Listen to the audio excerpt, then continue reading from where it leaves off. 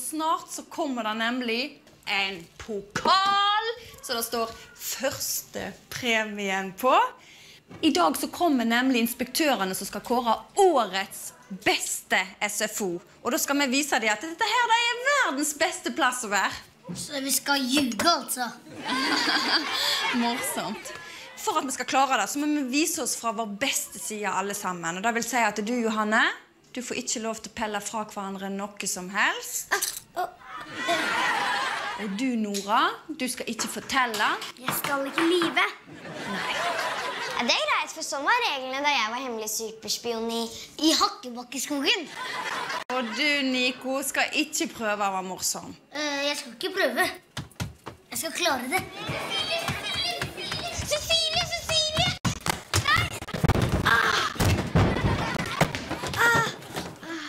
Josef, i dag så får du ikke lov til å sette i gang med et eneste et av prosjektene dine. Og du, Sofus, kan du være så snill skjønne deg og prøve å la være å skade deg? Jeg kan gjøre mitt beste. Så bra. Hvis dere klarer det, så lover jeg dere is og brus. Yes! Yes! Yes! Pokalen skal bli vår. Ingenting skal få ødelegge dette her for meg. Jeg kjenner at jeg blir litt nervøs nå. Jeg skal bare en liten tur på toalettet. Ja, men det er akkurat det! Dassen renner over, og den vil ikke stoppe. Er du klar over at dette der er ganske alvorlig, Josef? Jeg vet det. Ingen får gå på dass.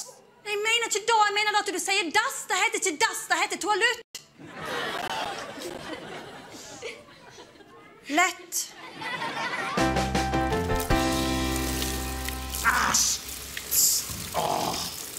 Var det bra? Nei, jeg vet ikke hva som er feil med dassen her, altså. Det er i hvert fall ikke spørsmålet min. Men klarer du å fikse toalettet? Du, det vet jeg ikke, men jeg skal prøve å fikse dassen. Det er barna, Kåre. Ja, jeg vet det. Og så lenge de er her, så får ikke jeg gjort noe som helst. Ok, men Kan du snill skynde deg, for jeg må, jeg må veldig Kom gjennom Nora. Håper det går fort, for jeg begynner å bli klistret igjen.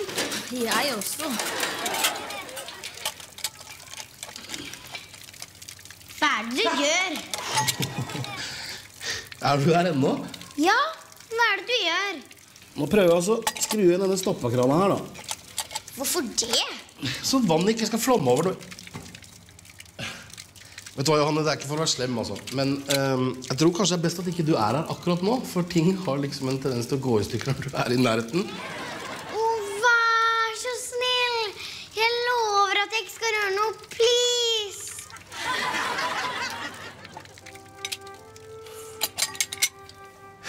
Lover du? Ti kniver i hjertet, æresord mor og far i døden. Jeg hadde holdt med et ja, men Ok. Men ikke røre noe som helst. Ikke en ting. Lover du? Lover.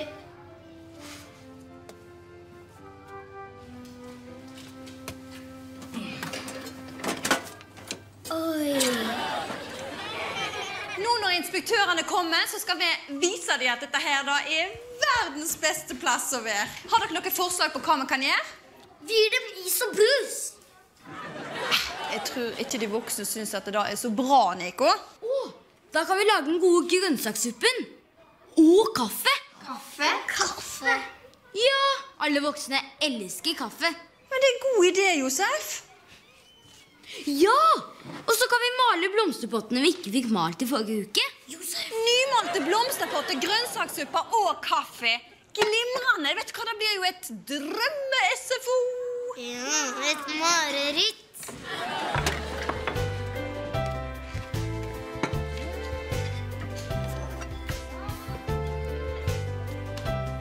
Flott. Da går jeg og setter over kaffen. Nei, vent. Jeg kan gjøre det. Kan du klare det, da? Selvfølgelig. For jeg har nemlig jobbet på kaffebaren til onkelen min. Var det før eller etter at du var hemmelig superspion? Hvis du tror at du kan klare det, Nora, så skal du få lov til det. Og det var dekkjobben min, så ingen skulle mistenke noe. Ja, ja, for det er jo helt vanlig at åtteåringer jobber på kaffebar.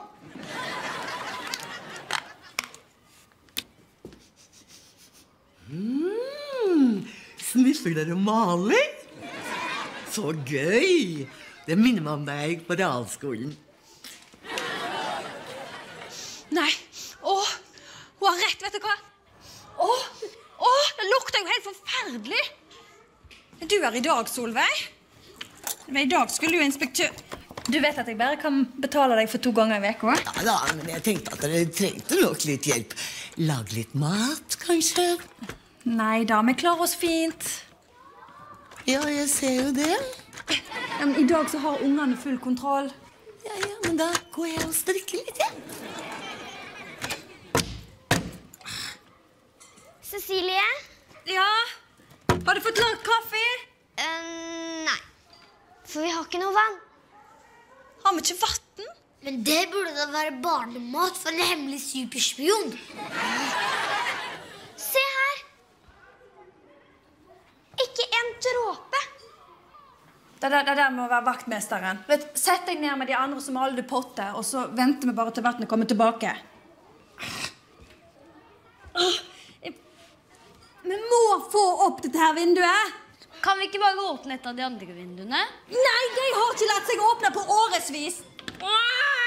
Altså, vi må jo ha luft! Hvis ikke så klikker det for meg!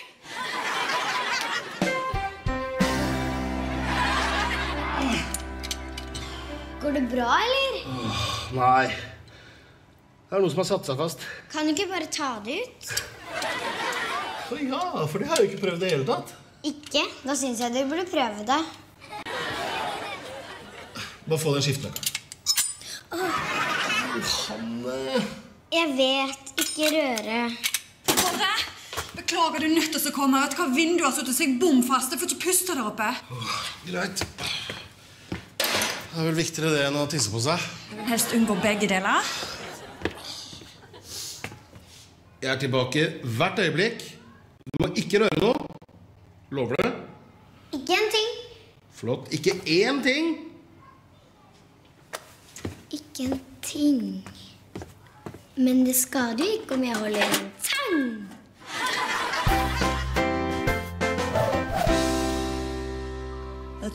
Syns jeg føler meg litt suset i hodet allerede.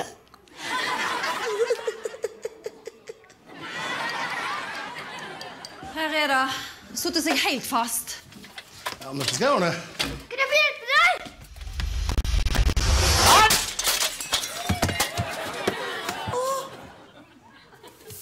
Jeg skadet meg ikke. Ja, Nå får du nok luft her, i hvert fall. Inspektørene kan være her når som helst. Bare knust vindu, vi har ingen do. Vi har jo ikke vann engang! Det kunne ikke vært verre. Ah! Ah!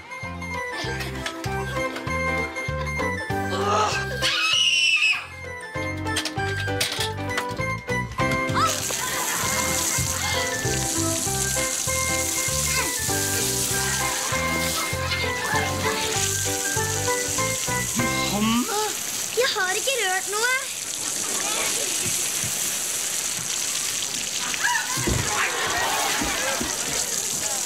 Åh, oh, nå kommer vann til suppe og kaffe igjen! Kom igjen, alle mann! Fyll opp alle bøtter og spann!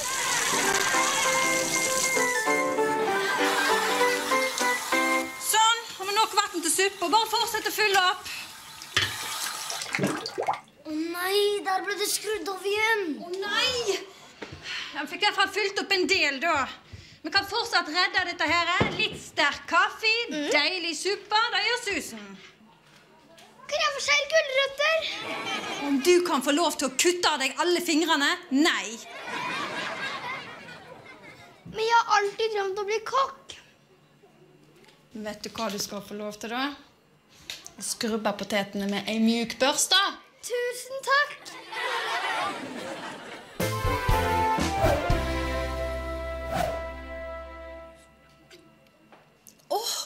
Faktisk knallgodt! Og Sofus klarte det uten å skade seg. Ja, han var kjempeflink. Cecilie, Ja? får Sofus lov til å leke med kjøkkenkniven? Sofus, slipp den kniven! Ok.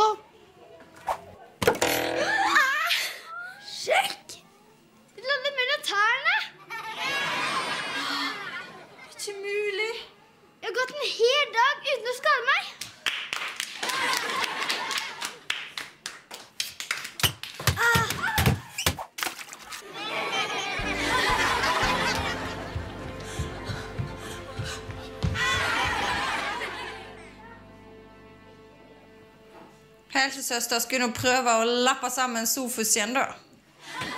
Kaffen er ferdig. Vil du smake? Å, så deilig! Akkurat det jeg trengte nå.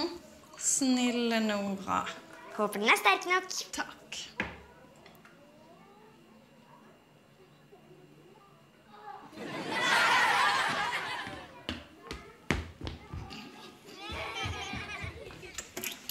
Åh, Hvor mye kaffe har du hatt oppi, egentlig?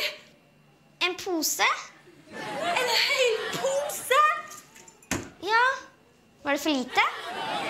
Så den der kaffen der kan ikke dere mennesker drikke. Han er så sterk at han kan ta livet av en hest. Jeg ikke skjønner at den der onkelen din driver med kaffebar.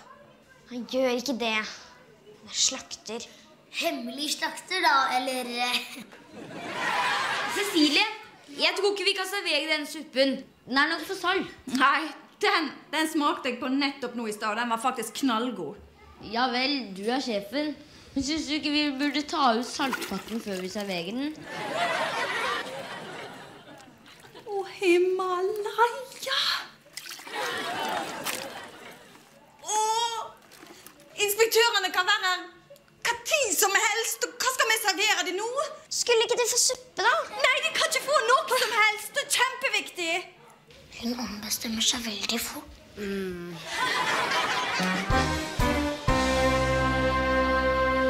Har du fiksa toalettet? Nei, jeg beklager. Men fikk jo fiska opp den her, da. Som sikkert er årsaken til problemet. Og så støtter vi på en del andre problemer underveis vel. Så nå er vi nødt til å vente på rørleggeren, og han kommer ikke før i morgen. Hæ? Hva du sier Det jeg sier, er at ingen kan gå på dass før i morgen. Ja, men jeg må tisse! Jeg også! Men kan du være så snill og i det minste si do? Greit. Do.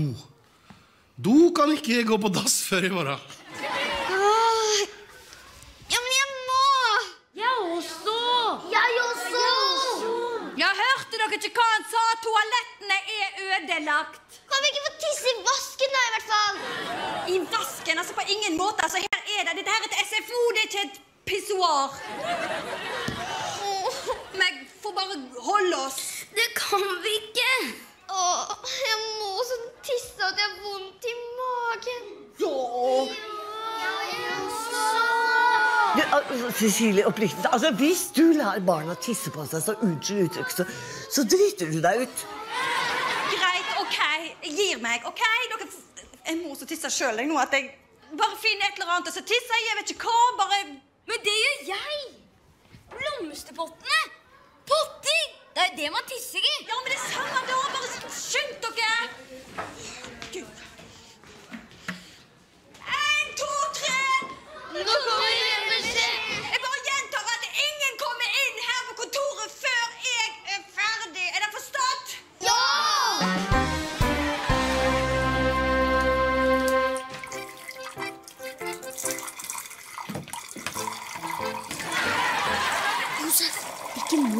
Ser du ikke at jeg er opptatt? inspektørene, Ja, så gidder du ikke før de kommer. de er her.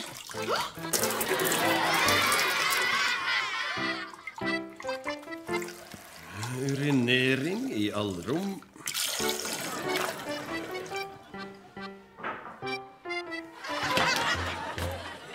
Knust vindu.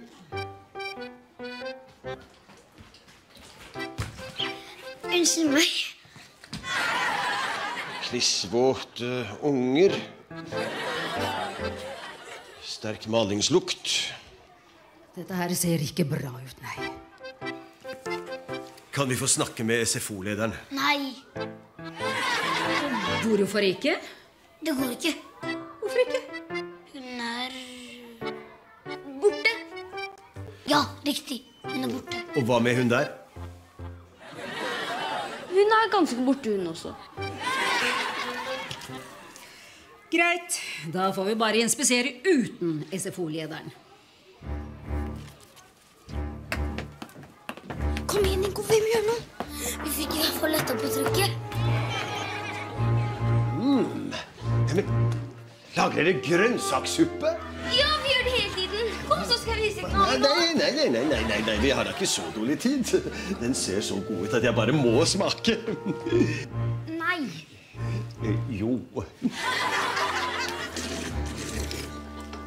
Mm.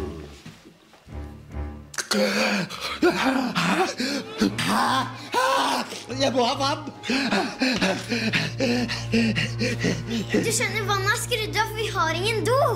Har dere ikke vann? Har dere ikke do? Hva, hva er det på gulvet der? Er, er det blod? Å, det var bare Sofa som slo hodet da han lekte med kjøkkenkniven. Det er ikke så ille som det høres ut. Dette er verre! Jeg er jo helt uttørket. Den suppen kan ta livet av en hest. Ja, da skulle jeg smakt kaffen. Au! Har dere kaffe? Jeg må ha noe å drikke.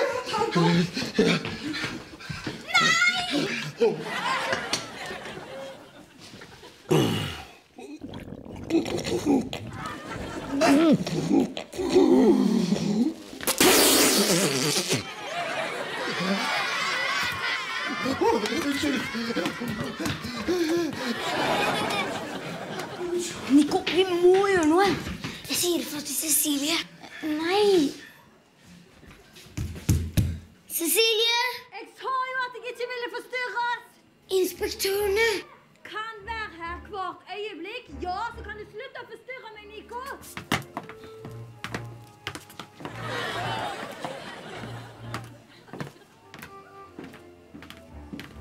Vi må redde stumpene. For å håpe ikke stumpen til Cecilie sitter fast i vaskebøtta.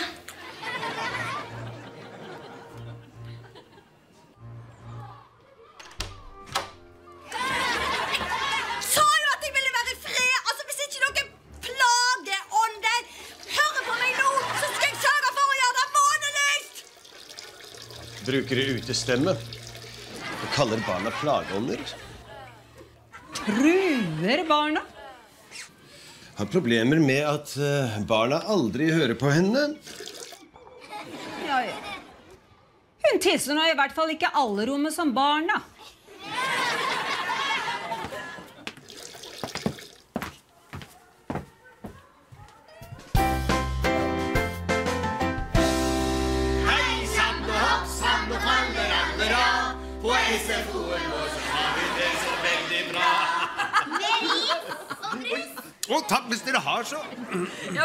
Selv om jeg er voksen, så er jeg veldig glad i is og brus. altså. Og, og vafler. Vafler. Ja, ja, dette var andre boller. Eller vafler, da. Er dere her ennå? Å ja. Jeg er bare nødt til å beklage. Jeg vet ikke hva jeg skal si. Å nei da, nei da, du gjør ingenting. Du skjønner, Barna har forklart oss alt sammen, de, og, og vi skjønner at vi kom på en litt vanskelig dag. Så du, se her. Nå tar vi så setter en strek over hele greia. Ja! Tusen takk! Og så fantastisk! Men dere er nødt til å få med dere et minne fra SFO-en vår. Se her, ta en blomsterpotte!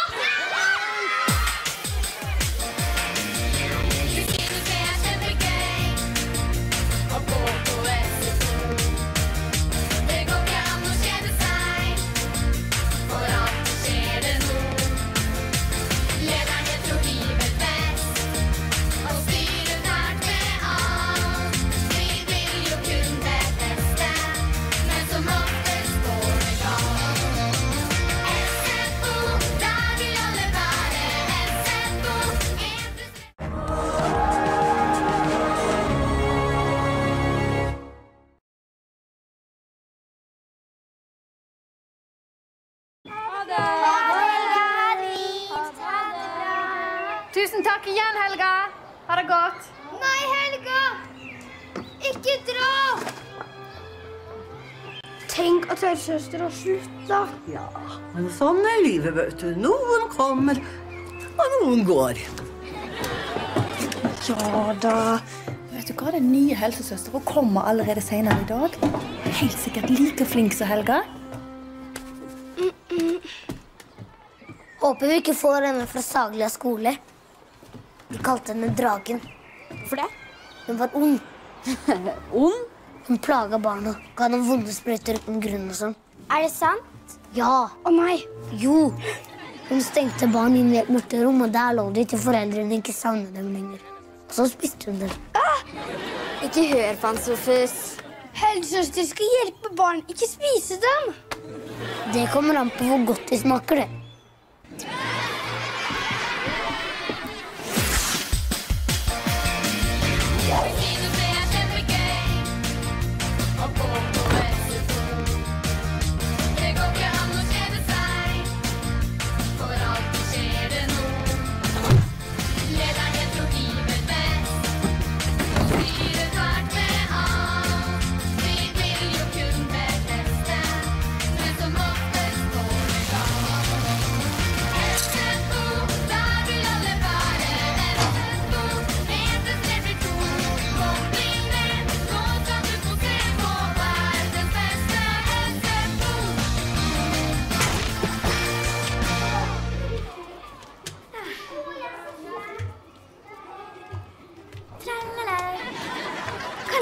Mette-Marit kommer og ser på utstillingen vår? Hvorfor skulle hun det? Fordi hun bryr seg veldig mye om barn. Særlig fattige barn i andre land. Jeg snakket med henne om det på søndag. Utrolig interessant å høre om. Du snakket med Mette-Marit på søndag? Ja. Nei. Jo, tenk, jeg gjorde det. Mette-Marit og jeg er bestevenninner. Mette-Marit? Den søte kronprinsessen? Hun kaller meg for tante. Er det sant? Mhm. Og jeg ble kjent med henne jeg forstår det, da hun arbeidet som tjenestepike for den onde stemoren sin. Åh, som hun slavet! Hun måtte sove ved peisen. Hun hadde sot i ansiktet og sot på de fillete klærne sine. Hadde det ikke vært for at jeg ga henne da den fine kjolen, så hadde hun ikke kunnet gå på ballet. Det der er eventyr om Askepott, Solveig. Askepott?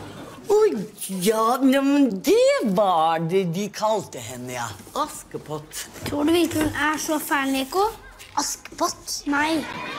Den nye helsesøsteren. Glem det, Sofus. Nico Bagertegoss. Nei, det er sant. Men hun er ikke i Norge lenger. Hun dro til et eller annet sted i Afrika for å plage barn der i stedet. Fikk hun sparken? Tror ikke det. For ingen av de voksne trodde på barna da de sa hva han hadde gjort. Alle de voksne syntes hun var kjempesøt. Så går det å være kjempesøt og slem på samme tid. Ja, bare se på Nico.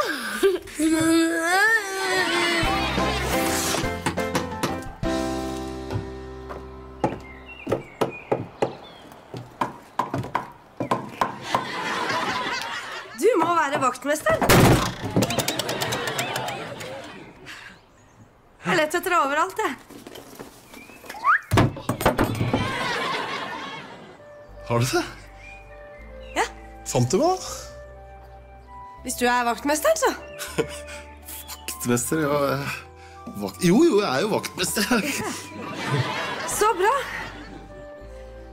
Vet du hvem jeg er? Verdens vakreste kvinne. Nei, jeg er ikke det. Jeg er den nye helsesøsteren. Cecilie sa at du kunne vise meg kontoret mitt. Kontoret mitt? Ja. Ja, det er her, det. Ikke kontoret ditt. Kontoret mitt. Helsesøsterens kontor. Kontoret ditt? Hvorfor sa du ikke det med en gang, da? Det er borte.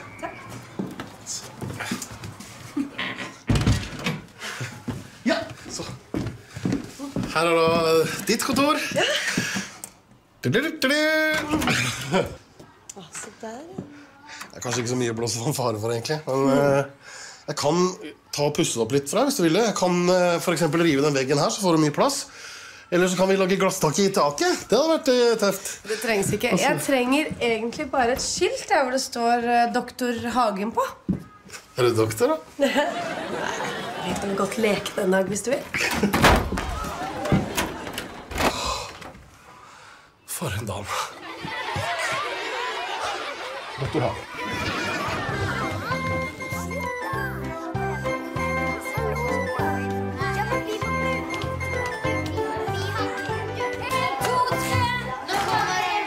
Og vi må følge med. Ja, jeg har fått en idé. Eh, nå har dere vært så utrolig flinke og jobba masse med de flotte tegningene. Så hva om vi fikk en berømt person til å åpne Redd Barna-utstillingen vår? Ja! Nora og Mette-Marit er bestevenninner. Er det sant? Nora? Å, kan ikke du ringe til henne og spørre om hun kan komme til oss? Um, det er ikke så lett. Kanskje fordi dere ikke er bestiser likevel. Men jeg tenker for hun er veldig vanskelig å få tak i. Og dessuten så har jeg ikke noen telefon. Da gjør jo ingenting. Du kan bare ringe fra kontoret mitt. Um, takk. Det blir kjempefint. Mette-Marit? Ja, men jeg kan godt da, så ringe til henne, jeg. Solveig Ringe? Er det ikke bare å si bibbidi-bobbidi-bo? Nei, nå tuller du fælt, Nico. Jeg sier jo ikke bibbidi-bibbidi-bo. Det er jo den gode gudmoren som gjør det når hun skal trylle gresskaret til en hestevogn og den simple kjolen til en basskjole. Men hun kan jo trylle. Kan du liksom se noen som kan trylle her, eller? Nei, det var nettopp det jeg lurte på. Er jo bare fylletante. Alle sammen, si hei til den nye helsesøstera. Hei, hei, alle sammen. Hei. Så hyggelig å treffe dere, da. Vaktmesteren hadde jo helt rett. Dere er jo kjempesøte, alle sammen. Du er jo grei, jo. Ja, jeg er jo grei, jeg. Er det noen som har sagt noe annet? Nico, men han pleier alltid å tulle. Er det du som er spøkefuglen her? Hæ? Jeg pleier å lure det på av og til. Hva pleier du å si, da? Bortsett fra at jeg ikke er så grei og sånn. Ja, for eksempel at Cecilie er gift med over tre menn samtidig og sånn. Hva du sier Nico? Er det ikke det? Nei, selvfølgelig ikke. Men du er gift med læreren i syvende, Vibeke. Nico, du er nødt til å slutte å si sånn tull om folk. Har du lagt merke til de flotte tegningene på veggen? De er jo fantastiske. Ja. Dere burde jo ha en utstilling. Det er det vi skal ha også. Til inntekt for Redd Barna. Å, Redd Barna. Men det er, jo, det er jo helt topp. Jeg har jo vært i Eritrea og hjulpet barn der. Eritrea? Ja. Det ligger på Afrikas horn. Har du vært i Afrika? Ja, det har jeg. Det var veldig utviklende. Så flott! Da kan jo du fortelle oss om hvordan ungene har det der nede. og Det ville vært lærerikt for alle oss unger, ikke sant? Ja. Ja da. Men før du dro til Afrika, hvor jobbet du da? Saglia skole? Jeg har jobbet på mange skoler, jeg. Men ikke Saglia, nei. Jeg kan ikke huske Er du sikker på det? Nei, Nico, det er ikke noe avhør, dette her. Det går greit. Nora, skal meg og deg gå og ta en telefon? Ja. Må du slutte å plage helsesøster mer, da, Nico? Han plager meg ikke. Han er bare nysgjerrig. Og det er jo tross alt helt naturlig med barn i hans alder, ikke sant? Slo du deg? Så synd, da. Du, Hvis du noen gang blir skadet, må du huske på at du må alltid komme til meg. Jeg kan hjelpe deg, vet du.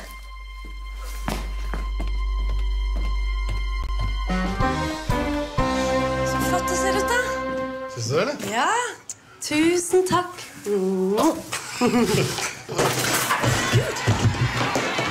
Det gikk fint, det, altså. Ja. Verktøy. Apropos eh, verktøy. Jeg rydda kontoret forleden, og da fant jeg noen skikkelig primitive instrumenter som helsesøstera brukte i gamle gamle dager. Å? Ja. Så Ordentlig ekle tenger og sprøyter og skalpeller. og altså, ordentlig skummelt ut. altså. Stakkars barna før i tida. Kan jeg få se på dem, tror du? Bare sånn rent ut ifra en historisk interesse.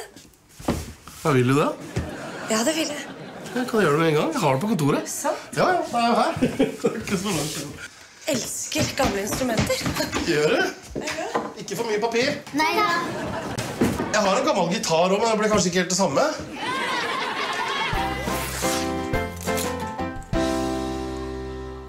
Så god. Nummeret til Slottet.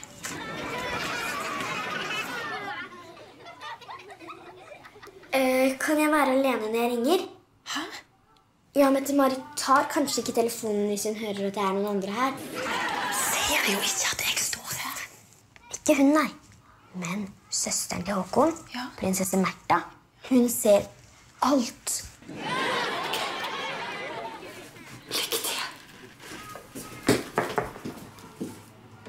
Fint om hun kan være her før tolv.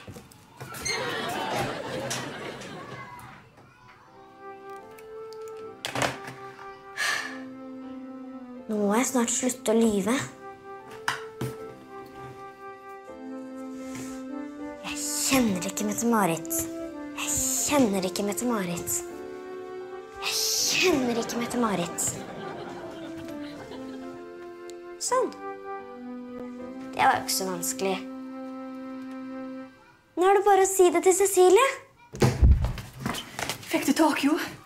Eh, ja da, men hun kunne dessverre ikke komme. Hun er veldig travel. Ja, det var synd. Nå har i hvert fall du gjort ditt. Tusen takk, Nora. Åh, hva skal vi gjøre nå, da?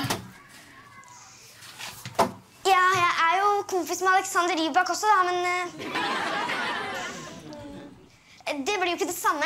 Nora! Åh, ringer du til Alexander òg? Tenk om vi får han hele gutten her. Lykke til.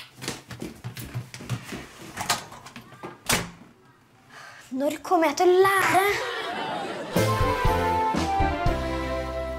Det er sant. Hun lugga meg. Nei, du er bare hårsår. Og hun er ikke fra Sagla skole. Jo, hun er det. Jeg er helt sikker. Den nye helsesøsteren er ond, og jeg skal bevise det. Hvordan da? Jeg skal spionere på henne. Få gå opp hun har spist i dag, da. Hva de brukte den her til? Klippe av små barnefingre, kanskje? Nei, fy da. Det er fantastiske, disse instrumentene her. Åh. Vet du hva? Jeg tror eh, barn i dag ikke vet hva ordentlig smerte er. Bra det, da. Vet du Noe det dummeste jeg vet om, det er når voksne sier at uh, unger de må falle og slå seg mye oftere. Hvis de slår seg, så er det bare å komme til meg. Så kan jeg lappe dem sammen. jeg.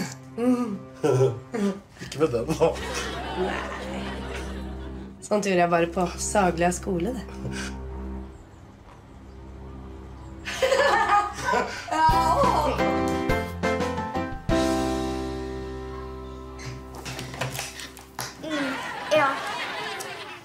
Synd, Alexander. Da får det bli en annen dag. Kunne han ikke? Nei, han skulle ha konsert i dag.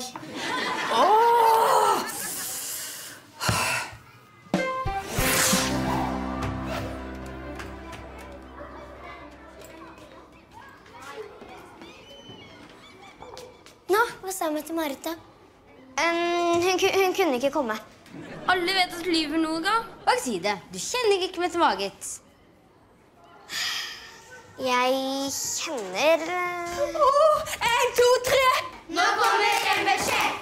Mette-Marit kommer. Hæ? Det er helt sant! Ja! De ringte fra Slottet. De sa at de hadde fått en telefon som gjorde at Mette-Marit la om på planene sine. Nora, du fikk det til! Woohoo! Gjorde jeg? Ja, ja, selvfølgelig. Det er det jeg har sagt hele tiden. Jeg kjenner Mette-Marit. Ja, det er nettopp det du gjør. Det kan ikke være sant!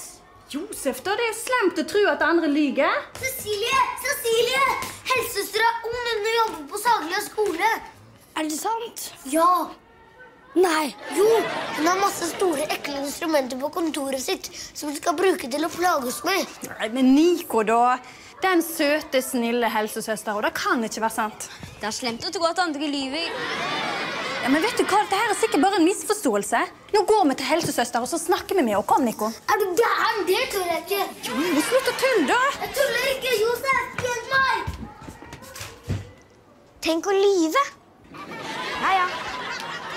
Nei, ikke gjør det! Hei. Hei. Er det noen som er skadet? Nei, men jeg tror det har skjedd en bitte liten misforståelse her. Ja, for Nico han tror nemlig at du har hele kontoret fullt av gamle, avskyelige instrument som du skal plage barna med. Ja, men det er delvis sant, det. Jeg har faktisk en del avskyelige, skumle instrumenter som ble brukt til å plage barna med. Men de er heldigvis bare på utstilling nå. Ja, utstilling, jeg skjønner. Kanskje dere har lyst til å komme og se? Ja, men det er jo veldig bra, så kan dere se at det bare er en misforståelse. Kanskje dere har lyst på litt godteri også? Mm, så flott! Da overlater jeg deg til deg. Jeg er nødt til å springe. Vet du hva? Mette-Marit kan være her hvert øyeblikk. Jo. Nei, jo.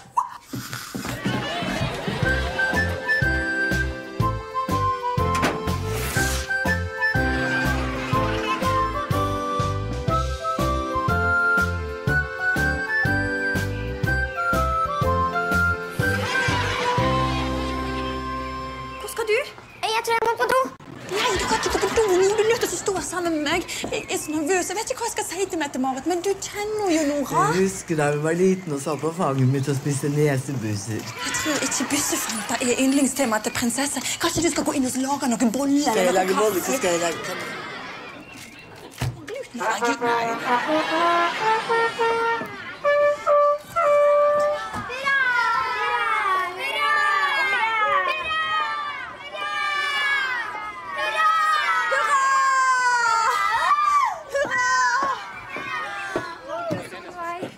Så hyggelig å se deg. Å, lille lurket mitt. Tenk så stor du er blitt. Jeg syns det var som i går ja, at vi satt og spiste kjeks og drakk te av de bitte små tekaffene og de bitte små tallerkenene. Ja, men det var jo i går. Vi spiser av dronning Mauds teservis, husker du? Ja, ja, ja, ja, sånn var det. Ja, ja. Du, du må hilse på Cecilie. Det er hun som er sjefen her på SFO. Takk skal du ha. Deres kongelige høye kronprinsesse. Altså, dette er Nora, men hun kjenner du jo godt.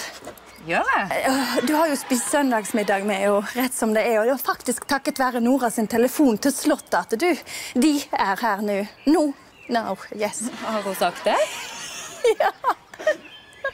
Fortalte masse gøy om alt dere gjør sammen. Og... Nora? Ja, ja, men da må hun komme fram, da, så jeg kan se hvem hun er. Ja. Nora.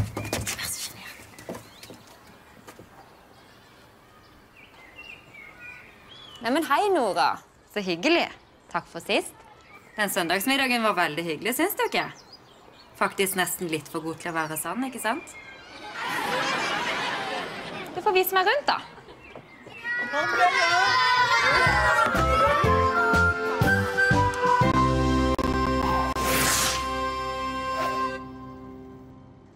Ok.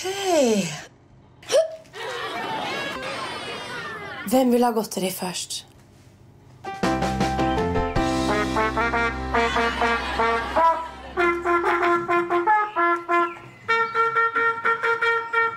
er fortsatt takknemlig for at jeg fikk låne kjolen din til ballet den gangen. Håkon elsker han. Jeg håper du skjønner hvor heldig du er som har tante Sola til å hjelpe deg. Nora, jeg skjønner at det av og til kan være fristende å lyve. Men det er ikke noe pent å gjøre det. Du må jo ha vært kjempenervøs for at jeg skulle avsløre løgnen din. Tror du ikke det er best å fortelle sannheten heretter? Fint. Lykke til. Tusen takk. Ha det, alle sammen. Ha det. Det var en kjempefin utstilling. Ha det, tante Solveig. Ha det.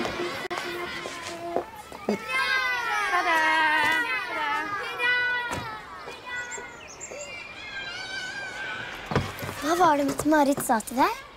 Hun sa at um, Hun inviterte meg til Slottsfallet neste fredag. Jeg skal sitte ved siden av fru Sverre. Er det sant? Nei. Hun sa ikke det. Hva sa hun, da? Hun sa at jeg skulle slutte å lyve. Nei, nå ljuger du. Tenk at du skal på slottsball. Ah.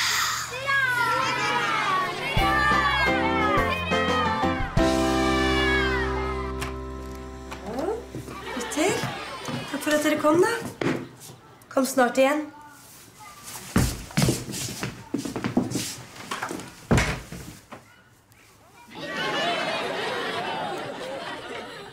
Hvem er det som gir barn sprøyter for moro skyld?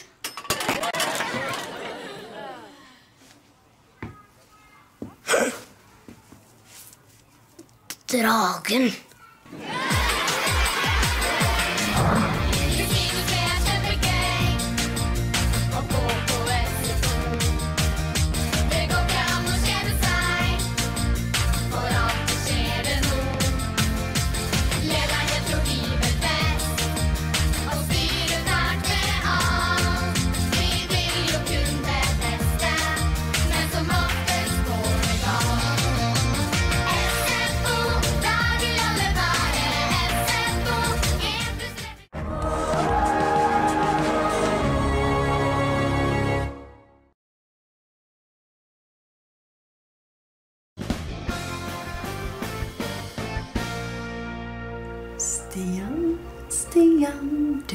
Så vakker, du er så god. Jeg drømmer at det blir oss to. Stian Barsnes Simonsen, Stian Barsnes Simonsen.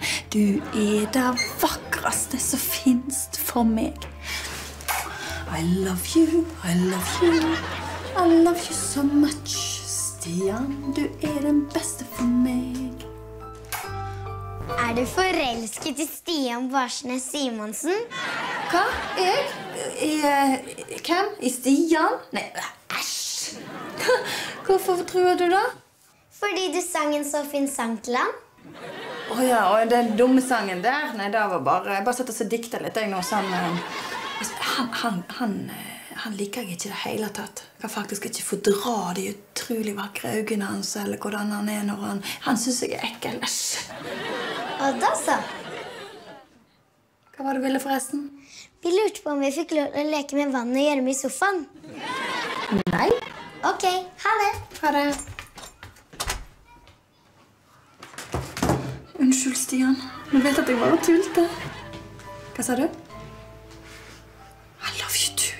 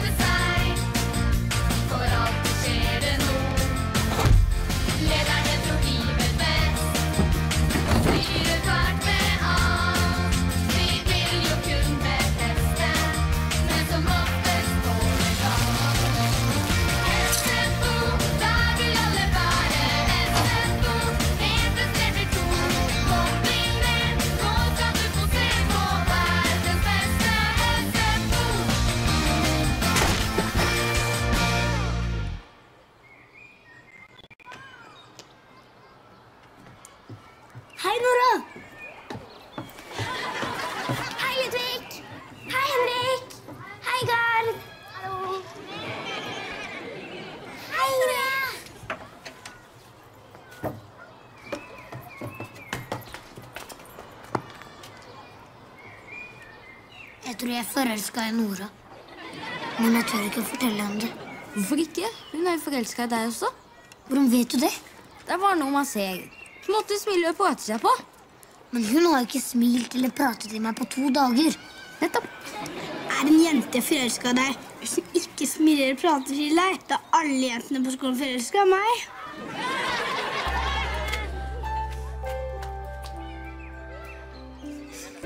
Altså, å være forelska begynner å oppføre seg veldig rart. Hvordan er det rart?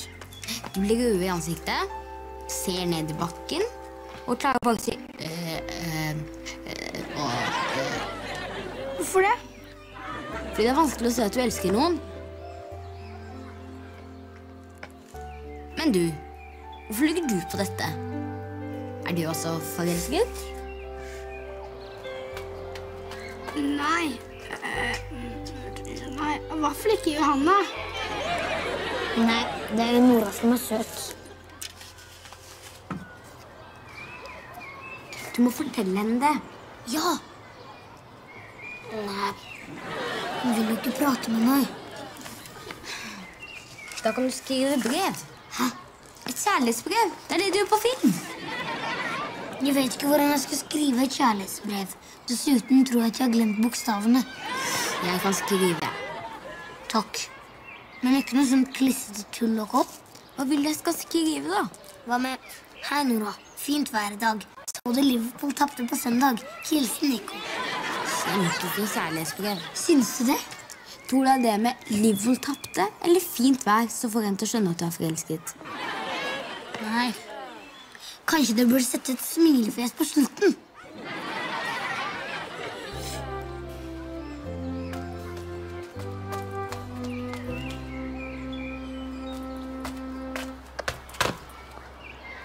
Tur. Hva er det med deg, da?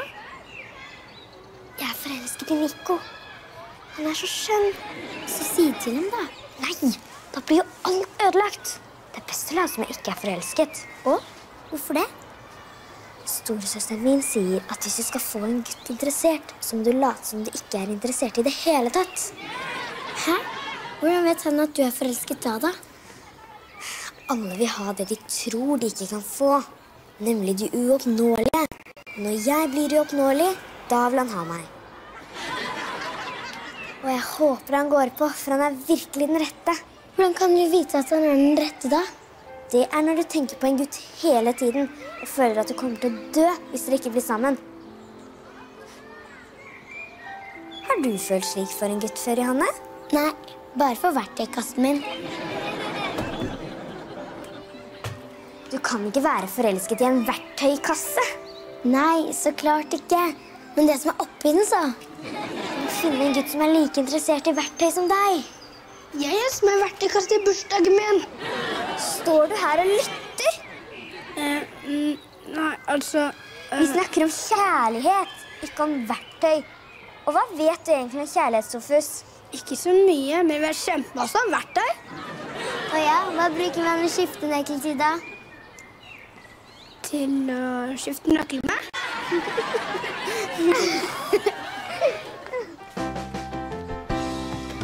Hva gjør en skiftenøkkel egentlig? Ja, det kan du bare lure på.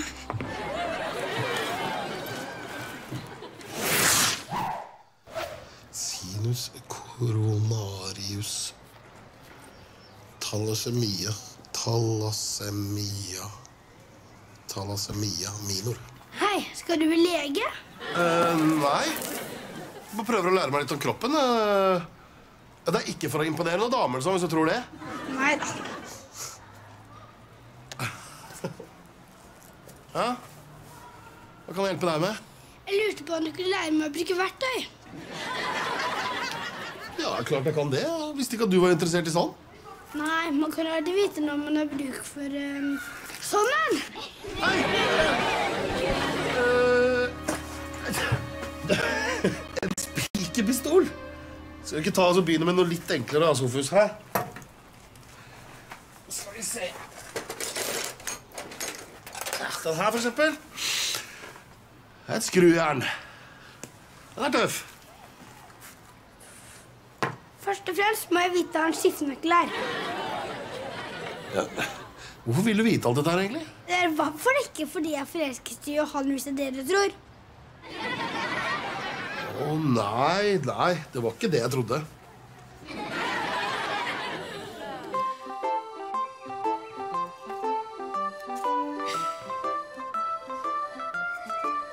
Det ble et sånn klissete kjærestebrev allikevel. Det ble det vel ikke? Kjære Nora, jeg liker deg. Vil du bli sammen? Hilsen Nico. Åh, ekkel kliss. Hva vil du skal stå i det brevet, da? Samme det, bare du leverer det. Ok.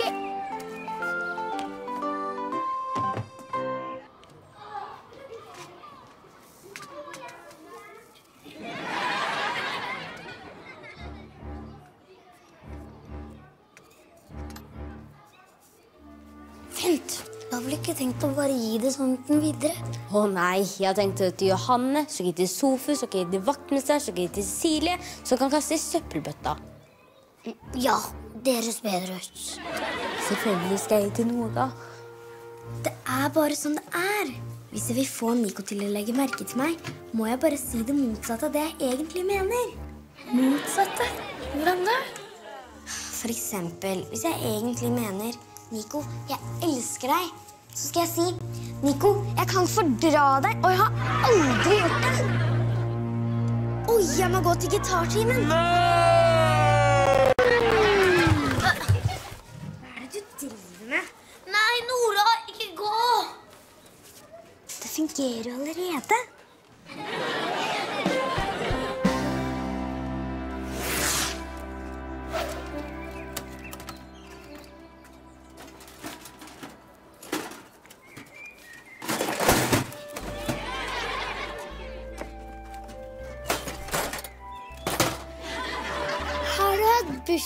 Allerede? Nei da, jeg hadde bare litt liggende i sekken min. Baufil, drill, leddnøkler, skrallenøkler, borhammer. Vet du hva vi kan gjøre med alt dette, eller? Ja, nå vet jeg alt. Og dette er en skiftenøkkel. Skikkelig bra, Sofis.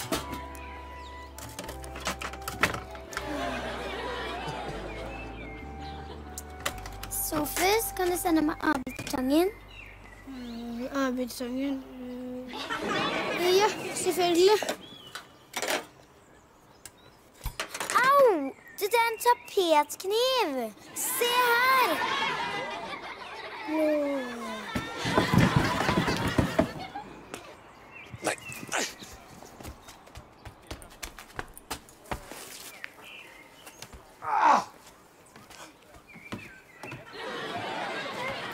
Og få et plaster på såret, du òg. Og jeg som trodde helsesøster ikke kom til å få noe å gjøre i dag. Er det bra, eller? Ja, ja. Nå må du bare være veldig glad for at du ikke måtte amputere. Mm. Mm. Tusen takk. Ja. Ja.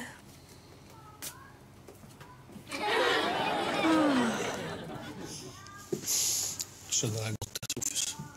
Livet er altfor kort til å ikke si ifra til den man elsker. Du må fortelle Johanna at du er forelska. Sånn, der har vi min favorittgutt, du. Du klarte ikke å holde deg unna i dag heller, du. Ja, nei, det er jo så koselig her, så Ja, hva har du gjort for noe, da? Mm. Å, kanskje du må sy? Nei, dessverre. Nei, jeg mener Heldigvis. La oss bare håpe at du har fått en skikkelig hjernerystelse. Nei, jeg mener, La oss for guds skyld håpe at du ikke har fått en stor hjernerystelse. Hjernerystelse, det er det, det, er det som heter um, uh, commotio cerebri, er det ikke det? Jo, det er riktig, det. Ja. Så bra. Jeg har lest litt sånn legeting i det siste. skjønner Uh, Eh, eh, for eksempel, kunne jeg tatt en titt på din maskin? Da? jeg vi se opp i neseboret mitt? Hvorfor det? Nei. Det blir bra, det her, Sofus. Så.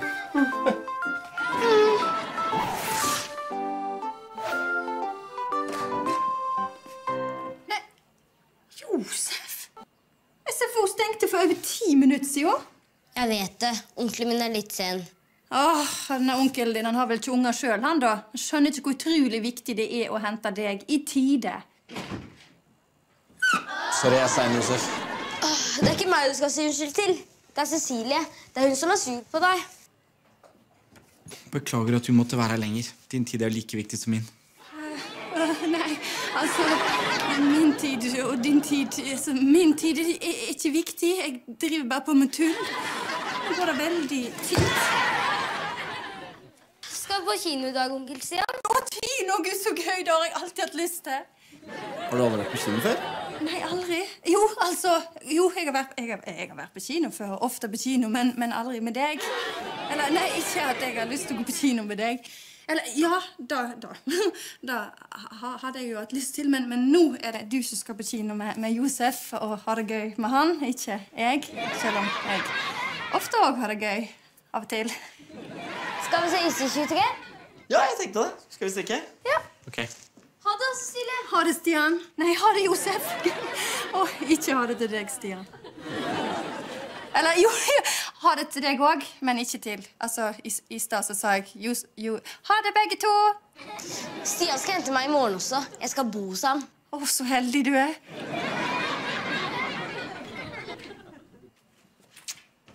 Ha det, da.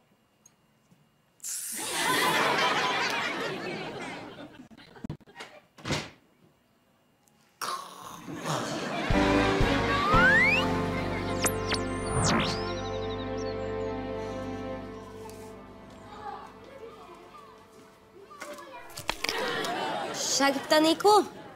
Jeg kan ikke det. Nora har helt sikkert lest brevet. Nei, det er ikke sikkert hun har oppdaget det engang. Hun pleier ikke å gjøre lekser. Hun har helt sikkert lest brevet og synes at jeg er en dust. Ja, men det synes hun jo allerede, så det er ikke så farlig. Hei, Nora. Hei, Ludvig. Hei, Josef. Hei. Kan jeg låne leseboka di? Ja.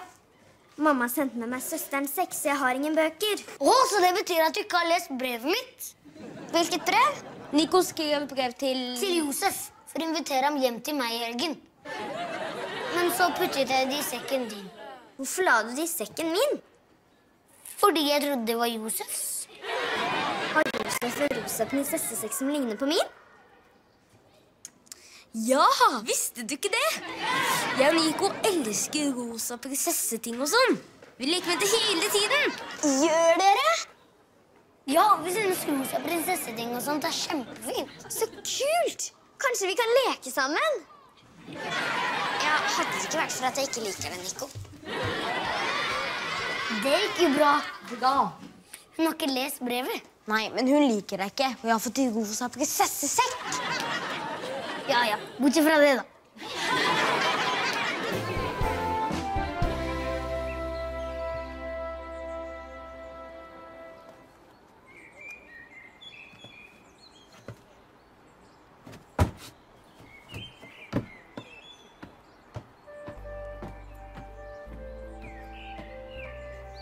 Johanne, jeg tør egentlig ikke å si dette, men jeg er forelsket i deg fordi du er pen, litterær og snill. Og fordi at du ikke ler fordi jeg skader meg så ofte. Og jeg tenkte at du kunne bli sammen, og da ville jeg blitt veldig, veldig glad. Sa du noe, Sofis? Eh, nei, ikke noe.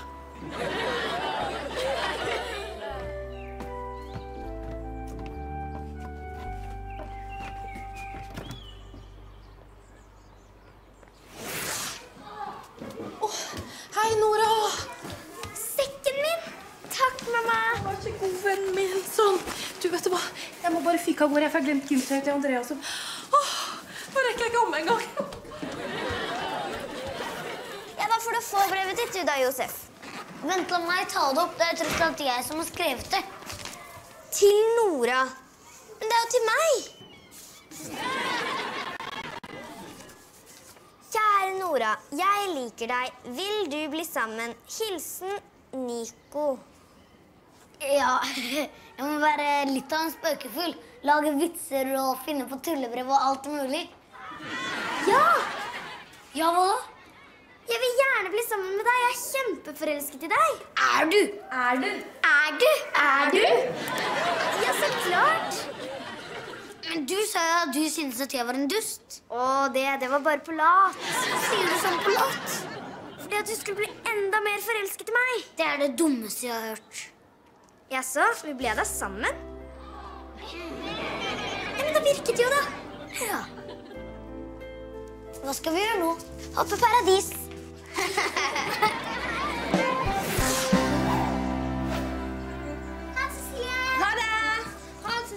det. Takk for i dag. Ha det. Kommer han ikke snart, da? Hvem er det du venter på? Eh, nei, altså Hei, Josef.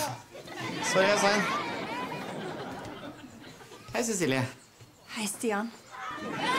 Josef snakket masse om deg i går. Nei, Og du? Tydelig at du gjør alt du kan for at ungene skal ha det bra her på SFO. Men Hva gjør man ikke for? For barna de er jo tross alt framtiden vår. Ja, du har rett i det. Du, Ja? Kunne du tenke deg å bli med meg på kino? Jeg har hørt at uh, Batman kom tilbake enda en gang. Er veldig bra. Vet du hva, da har jeg utrolig lyst Åh. Ja. ja. Hei, Silje. Hei. Er du Stian Versne Simonsen? Ja. Er du Lisbeth Grafe, kanskje? Nei takk. Jeg kan ikke skjønne hvorfor Cecilie ikke liker deg. Unnskyld? Johanne? Det er sant, for da jeg spurte om hun var forelsket, sa hun æsj og at hun bare var kjempeekkel. Men ja, så, Johanne, nå har du misforstått. Det er ikke sånn det er. Han har invitert meg med på kino. Jeg liker deg utrolig godt. Å, lurt! Nora har også lært meg at en jente skal si det motsatte av det hun mener. Eh, Josef, jeg tror vi skal gå nå. Ja, forresten, jeg kom på en ting. Eh, jeg er veldig travel fremover, jeg. For alltid, kanskje. Ha det.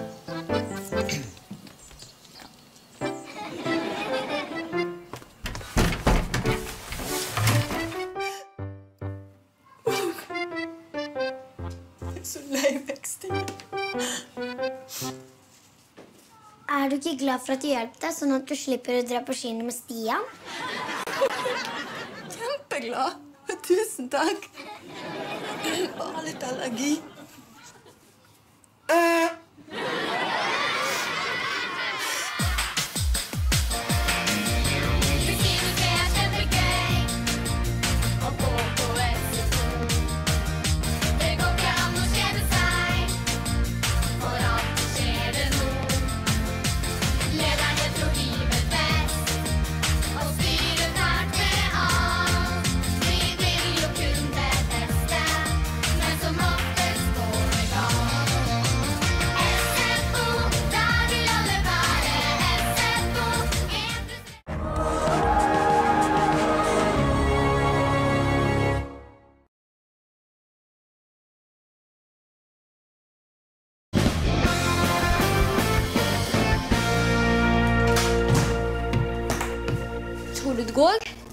Ja, jeg kan spørre pappa når han kommer. Kult! Og så kan vi dra hjem til deg og En, to, tre!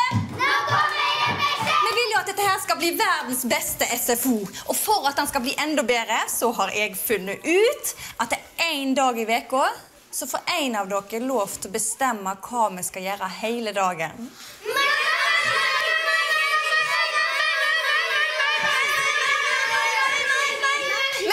I morgen, for at det skal bli rettferdig, så må vi trekke. Ja, og jeg håper det blir meg.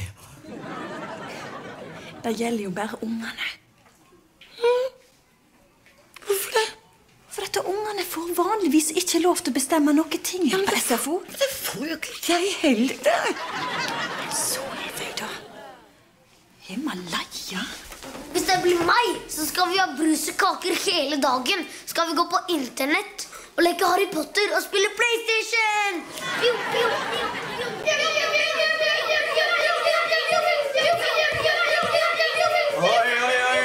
Er det her det er en pøbel som skal fraktes til et hjem for vanskelige gutter? Pappa! Pappa! Nei. Nei! Men du vet jo ikke hva spørsmålet er. Nei, men jeg er ganske sikker på at svaret er nei. Det er alltid det når du spør sånn. Gi det, da. Kan vi ikke ta med Josef på Megason i dag? Nei. Pappa. Vi har ikke tid. Ja, jeg skal reise til England i morgen, så vi må pakke. Vi? Ja, Du skal jo sove hos tante Elisabeth. Må jeg det? Ja, dette har vi snakket om for lenge siden. Jeg har gleda meg til denne englandsturen. Kan ikke jeg være med? Det går ikke. Det er en guttetur. Men jeg er jo gutt.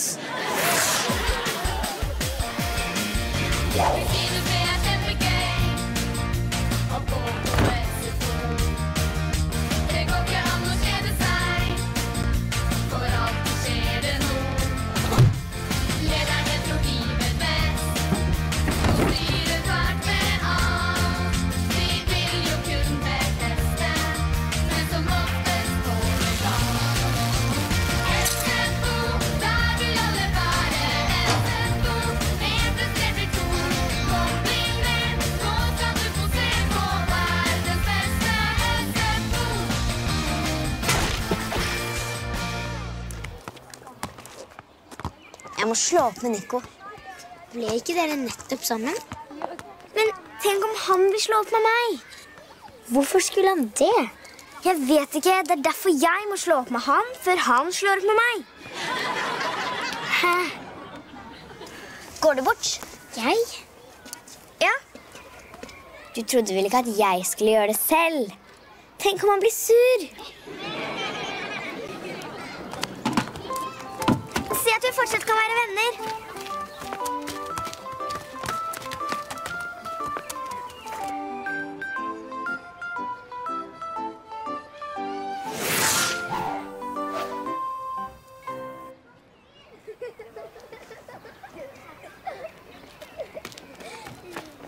«15 minutter? Hvor lang tid kan det egentlig ta? Josef fortalte en innmari morsom historie. Samme det. Hva sa Nico? Nico? Du glemte vel ikke at du skulle slå opp for meg? Jeg visste det var noe!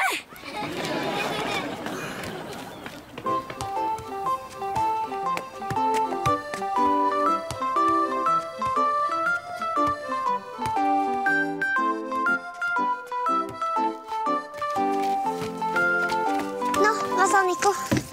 Eh, det var greit. Hva er greit? Det var greit at det var slutt. Hæ? Det er så typisk gutter. Og så tar jeg lasergunnen min og setter oss i romskipet og flyr mot den planeten. Det er liksom greit at det er slutt. Ja. Det er slutt med kjæresten din. Du burde kanskje være litt lei deg. Men skulle ikke vi fremdeles være venner? Tror du jeg vil være venn med en så ufør som dust som deg? Kom igjen, Nico. Cecilie skal snart rekke hvem som får bestemme. Bare det blir meg. Nei, nei, meg. Walk along. Hei, Nico. Hei, pappa. Se her, her er tingene dine. Så kommer tante Elisabeth og henter deg litt seinere, ikke sant? Du kommer ikke til å føle deg aleine, da. Aleine? Ja. Tror de er redd for at du skal reise bort? Fint. For uh, du syns ikke det blir trist å sove i et uh, fremmedhus? For selv om det er første gang du og jeg sover borte fra hverandre, så går det greit, ikke sant? Fint. Nå må jeg nesten stikke. Men du, pappa, Ja. må jeg sove hos tante Elisabeth? Altså, Flyet mitt går om et par timer, så vi, vi kan ikke forandre på det nå. Dessuten så syns jeg det er tryggest ja, at du skal bo hos søstera mi. Dersom flyet mitt skulle styrte, så er det jo hos tante Elisabeth du skal bo, ikke sant? Kan flyet styrte? Styrte? Nei, hvem er det som har fått deg på sånne tanker? Nei, nei, det skjer ikke. Men, men nå må jeg løpe om jeg skal rekke flyet før det styrter. Jeg mener Lette, mener jeg. Letter. Vi snakkes, da. Oppfør deg pent, da. Liverpool! You never walk alone.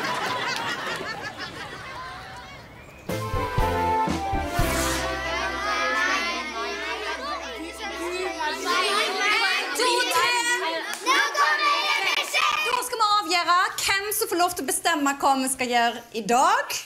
Solveig, du skal få lov til å trekke. Å, tenk om jeg trekker meg selv. Ja, Da ville det vært veldig overraskende, for navnet ditt ligger nemlig ikke oppi her. Nei, nei, men man vet jo aldri. Bare trekk, du.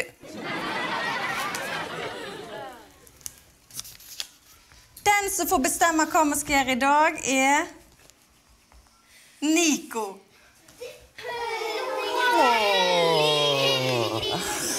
Nico, det ble deg. Hurra. Men Nico, hva skal vi gjøre? Gjør hva dere vil. Hæ? Hva, hva er det med Nico? Det er min skyld. Din skyld? Jeg gjorde slutt med han i dag. Ja, Det gikk tydeligvis mer inn på han enn jeg ventet. Det er ikke derfor. Det var helt greit. Først, ja. Men så skjønte han at han hadde mistet meg for godt. Jeg skal redde ham.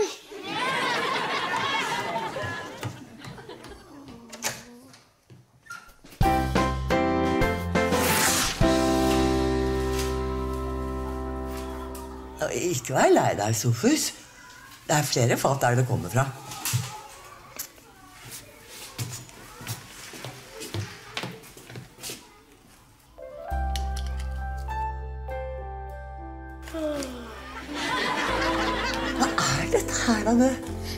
Eh, Det der, eh, det er venneboken min, det. Venn med en bok? Er du venn med en bok? Da kan folk tro at du er litt tyst. Folk tror at du er helt tullerusk bare du snakker litt med deg selv. Ikke sant, Solveig? Ja. Nei, det er ikke sånn. Er det ikke? Det er sånn at jeg får venner til å skrive i dem om hva du liker og er redd for. For jeg tror nemlig at det er lettere for folk å skrive ting enn å si dem. Sier du virkelig noen du Min andre mann, vet du, han skrev så mye, og han sa at hjertet snakker best på rim. Og det hadde han rett i. For alt blir jo mye vakrere på rim. Er det sant? Blir alt mye vakrere på rim? Ja, kanskje bortsett fra slim.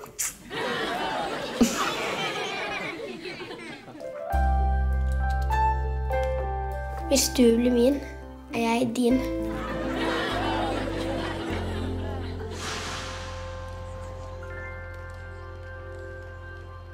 Ja, så Dersom flyet skulle styrte, så er det jo hos tante Elisabeth du skal bo, ikke sant?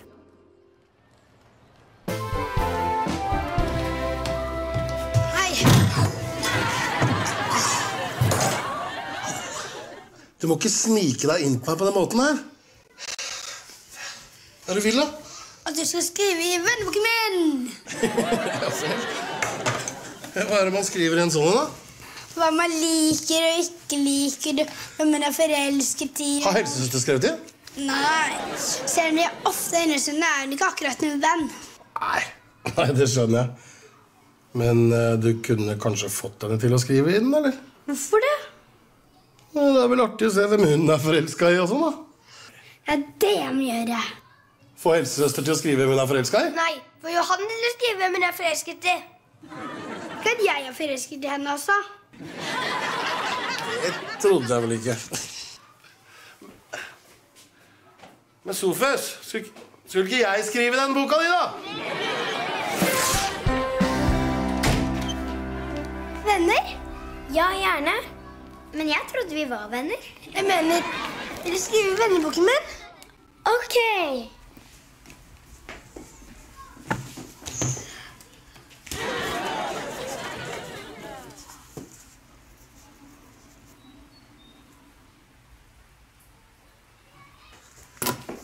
Den brakk. Jeg kan hente nye.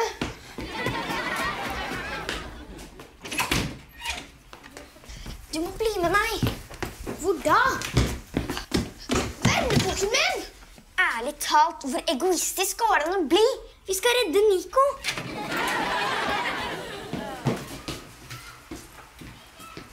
For Johanne. Yngler drikker saft, men ikke Men ikke hva da? Hvordan skal jeg vite hvilken saft du liker? Er det noe som er skadet her? Nei, ikke ennå. Da ser jeg deg senere, da, ikke sant?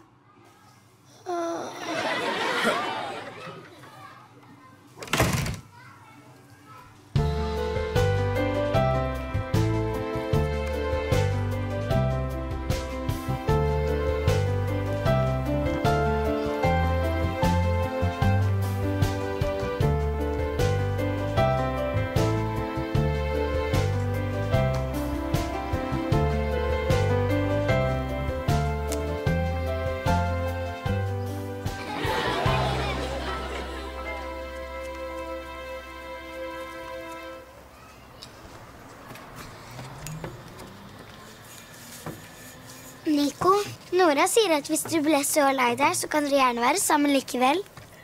Det er ikke så farlig, det. Ok.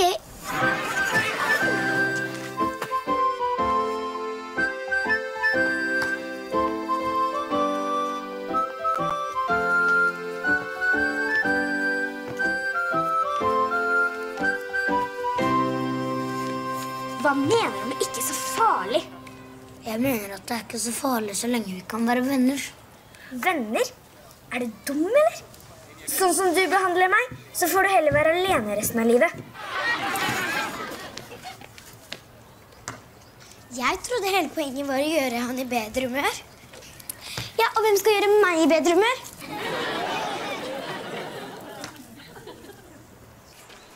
Hei, Nico. Hei, Josef.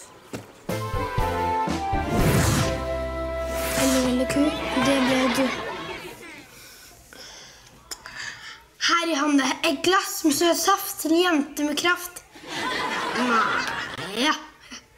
Siden du er like søt som saften, skal du få dette glasset i aften. Sofus?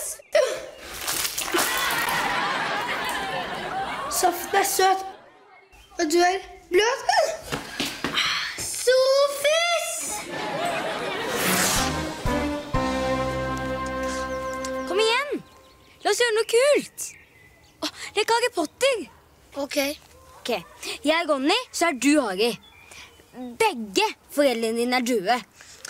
Gutten som overlevde Sa jeg noe galt? Nico, se her. Boller. Og du kan ta hvor mange du vil ha. Nei takk. Nei takk. Nei, ingen som sier nei takk til bollene mine.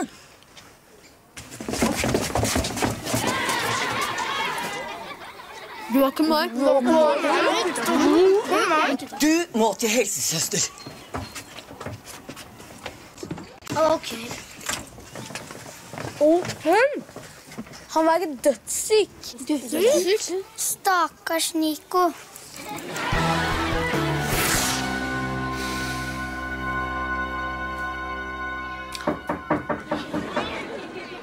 Kom inn. Du må se på Nico. Han ville ikke ha boller. I hele mitt liv har jeg aldri opplevd at noen ikke vil ha bollene mine. De har tross alt skaffet meg fem ektemenn. Vil ikke ha boller? Jeg er ikke sulten. Åh, da må vi nok stikke deg litt. Ok. Ok.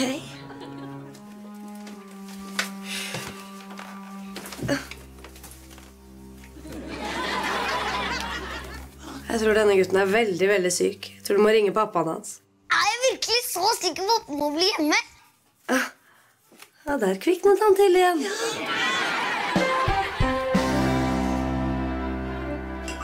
Saften er søt, og du er bløt. Hvor dum går den å bli?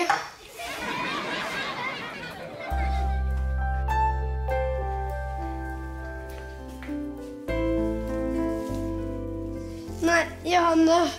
Jeg ville bare si unnskyld for i sted. Johanne, kan du komme hit litt? Jeg tror jeg har fått nok saft, Sofus. Dessuten liker jeg ikke rød saft. Nei, det er bare det at jeg ville si uh, øh,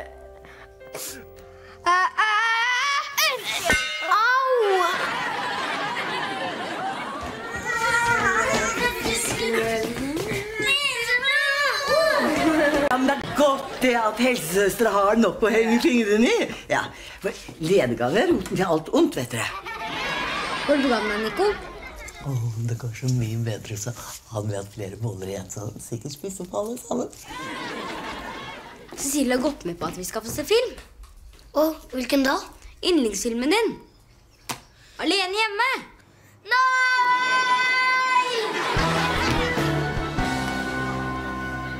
Hei sann. Pappa?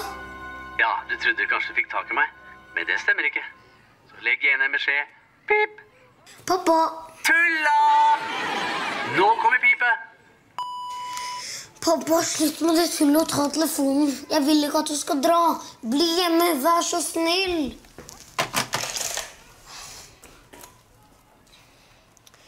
Du skjønner, faren min skal dra til England, og jeg er redd for at flyet hans skal styrte. For noe tull. Faren min flyr hele tiden. Han har ennå ikke falt ned. Fly er den tryggeste måten å reise på. Men jeg har aldri sovet borte før. Er det sant?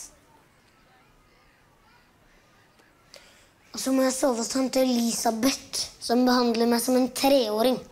Vet du hva vi gjør? Du sover over hos meg. Men tante Elisabeth Mamma ringer til tanta di og fikser det. Så kan være hjemme hos meg og spise snop og spille PlayStation hele natta. Ja! Yes, bam, chic! Sånn, nå skulle dere begynne å blø igjen, noe dere helt sikkert kommer til å gjøre, så er det bare å komme til meg. ok? Ja, Ikke rist på hodet, fordi da kan dere nemlig dø av blod på hjernen. Forstått? Ikke rist på hodet. Visste ikke at neseblod var så farlig. Hva er det med deg, da? Vi kan ikke være kjærester. Er vi det, da? Nei, og vi kan heller aldri bli det. Jeg er redd å se for farlig. Men vi er jo ikke sammen. Kan vi ikke bare være venner, da? Ok. Takk. Hva skjedde nå? OK, alle sammen klar til at jeg setter på filmen? Ja! Alene hjemme er dritkul. Nei, den er kul, ikke dritkul. Nei, stopp! Hva er det? Har det skjedd noe? I dag vil jeg bestemme. Nei, Solveig, det er bare ungene. I dag er det Nico som bestemmer, og han har valgt at vi skal se på film.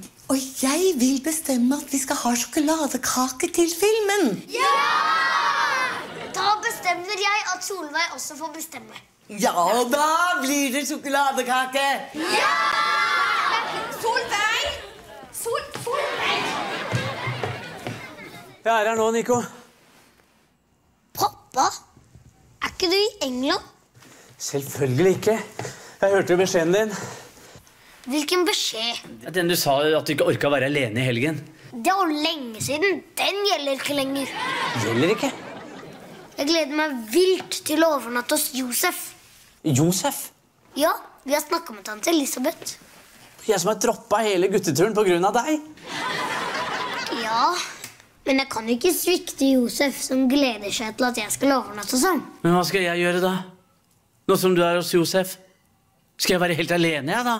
Men pappa, du er da stor nok til å sove alene hjemme.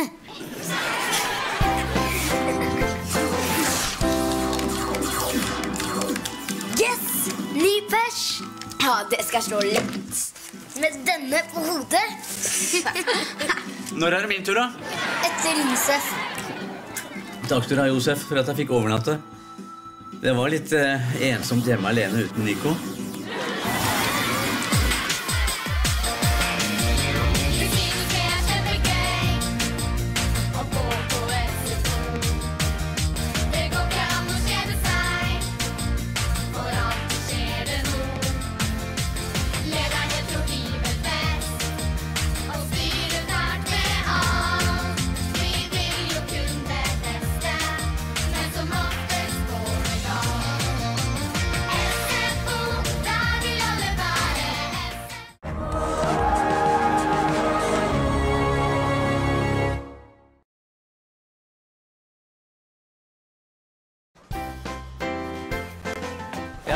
Fin dag da, Nico.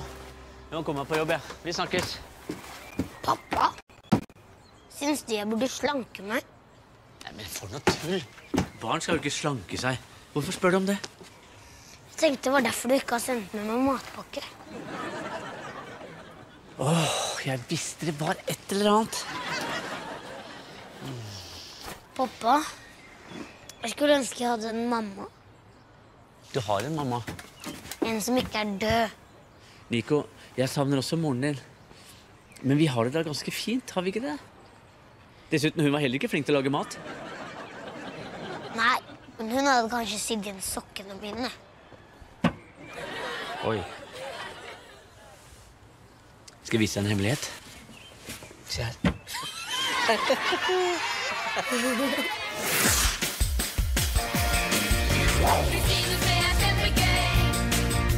Å,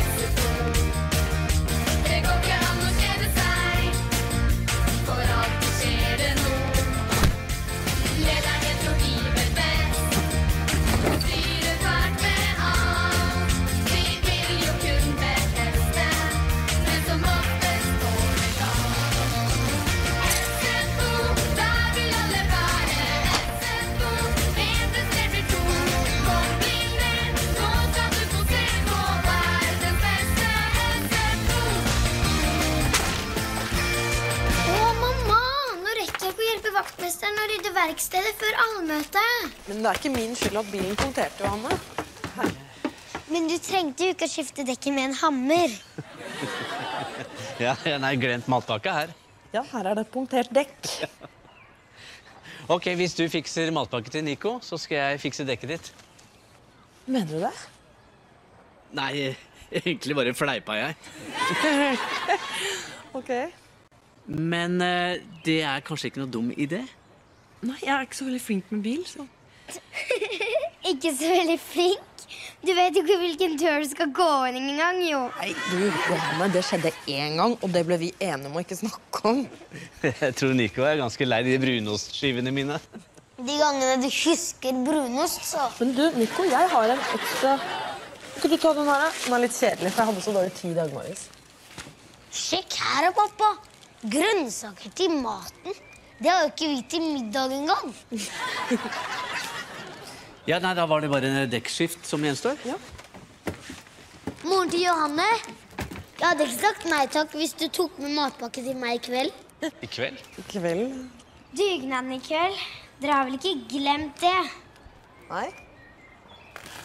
Den hadde jeg glemt. Av og til skulle jeg gjerne vært to. Ja, jeg skjønner hva du mener. Tenker du det samme som meg? Jeg tror det. Vi får foreldrene våre til å flytte sammen. Jeg får gode matpakker, og du får en stefar som har boden full av verktøy.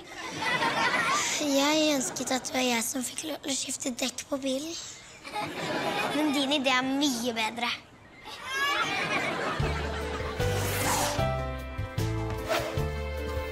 Hei, Nico. Hallo. Du, se her. Her er matpakken du bestilte. Tusen takk. Bare hyggelig. Åh, jeg tror jeg er forelska. I moren min. Hun er jo kjempegammel. Nei, er du dum? I matpakka. Nico, det der med å spleise foreldrene våre Jeg vet ikke helt om det er Jeg hører du er glad i å mekke, så jeg tenkte kanskje du ville ha denne her. Sånn har jeg alltid ønsket meg. Da er den din. Hva var det du skulle til å si? Hvordan går det med planen om å spleise foreldrene våre? Vi må få det til nå!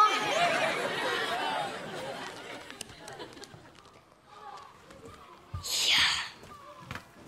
En, to, tre. Nå kommer en beskjed. Hei, sammen. Så hyggelig at dere har kommet. Skulle selvfølgelig ønske at det var litt flere som møtte opp. Ja, men jeg kan hjelpe til, for jeg er ganske flink til å hekle. Takk, Solveig. Jeg tror ikke hekling er det vi trenger mest av akkurat i dag. Hele familien min kommer. En hel familie med sofaser. Får du nok å gjøre i dag, tenker jeg. Ja, det tror jeg ikke, for jeg ser det.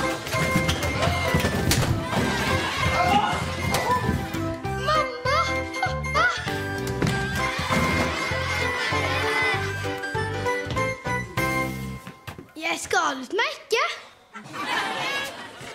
Hva er det de jobber med? da? De er kirurger, begge to. Sånn som reparerer hjerte og lunger og sånn? Ja, Ja, Ja, vi er klare for operasjon, vi. Operasjon dugnad. Ta og så Minn meg på at jeg aldri skal på det sykehuset der. ok? Eh, jeg har laga klar ei eh, lita liste her over det som trengs til å bli gjort. Maling, snekring, nye gardiner, rydding, vasking. Så det er bare å begynne på toppen her og jobbe seg nedover. Jeg tenkte vi skulle starte med å rydde i lekekassene. Nei, nei, nei, nei, nei, nei, nei, nei, Hallo, nei, nei. jeg sa rydding. Ja, men jeg er kjempegod til å rydde. Det var faktisk jeg som ryddet etter finanskrisen i fjor. Ok, Nora. Jeg stoler på deg. Eh, kanskje dere to kunne starte ute i hagen? Ja. ja. født i hagen, jeg, da. Så trenger vaktmesteren hjelp. Noen som er flink med hammer. Jeg, yeah, yeah. jeg. Du kan godt få lov til å snekre i dag, Johanne. Nei, jeg har ikke lyst. Er du syk, jenta mi? Nei da. Ok. Noen andre som er flink med verktøy? Ja. Eh, eh, ingen andre? Nei. Kom igjen. Flott. Da får dere gå med vaktmesteren. Hvem er de. Skal vi se hva vi skal finne på til dere som er igjen. Eh, Jeg kan jo kanskje hekle litt. Ja, hekle litt. Altså, du maser om denne heklingen hele tida. Du er jo helt opphekla i denne hektingen. He oppheng... Pappa, jeg kan vaske kjøkkenet. Eh, kan vi? Å! Det er jo den kjedeligste jobben av alt jeg har her, da. Ja, men det passer bra til planen. Planen? Ja, du vet den planen om å få et skinnerent kjøkken? Nei, ikke den planen. Å, ja, ja, jo, ja, nettopp. Den planen, ja. Ja, da var det oss, da. Vi er klare. Vi er alltid beredt. Dette er skiftenøkkel, doktor. Takk, søster. Eh, Vi trenger ikke noe skiftenøkkel akkurat nå, så det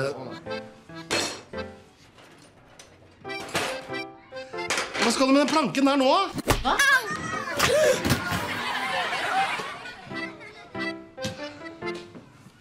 Ja, helsesøster, her har du den første. Takk for det. Kom igjen.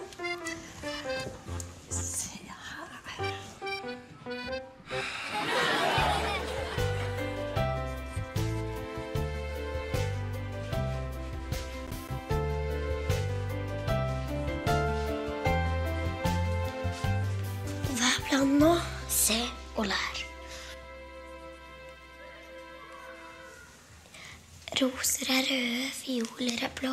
Du er flott og har en veldig fin kropp. Hilsen mammaen til Janne. Gjør det samme. Ja. Ok. Pappa, jeg tror det er et sted du ikke har vaska. Der. Nei! Hæ? Ikke noe. Sånn.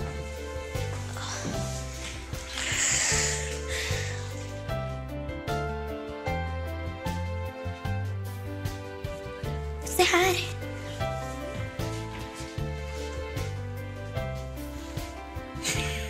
Du.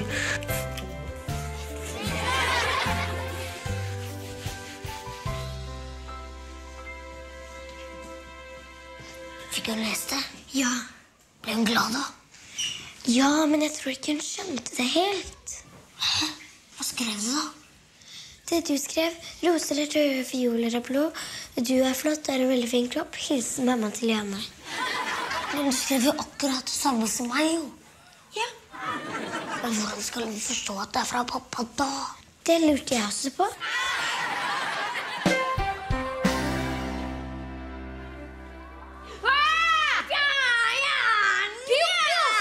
Hallo! Hei, hei, hei! Jeg sa dere skulle rydde, ikke leke. Vi leker ikke. Dette er blodig alvor. Duell mellom i og Babyborn. Fjoff, fjoff! Ha, du bomma! Nå kommer monsterbabyen og tar deg! Ja, Hei, hei, hei! Og nå kommer Lanta, SFO-lederen Cecilie, og stopper dere!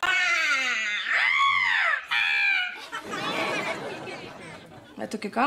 Mange av disse lekene de er ødelagte. Ja! Så nå må dere sortere. Nå legger dere det som skal kastes oppi denne her, og alt det andre oppi den. OK? Men det er jo dødskjedelig. Ja, og det kalles å rydde.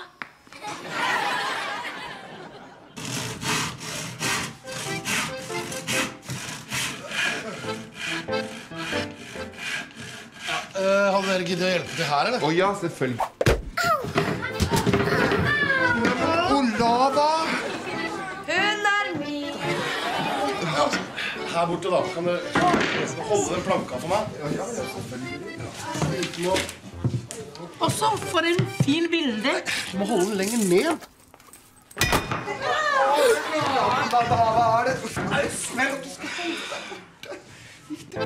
Har du tid til å bli her litt til, eller? Jeg har hele natten, jeg. Så Ja, for det tror jeg vi trenger.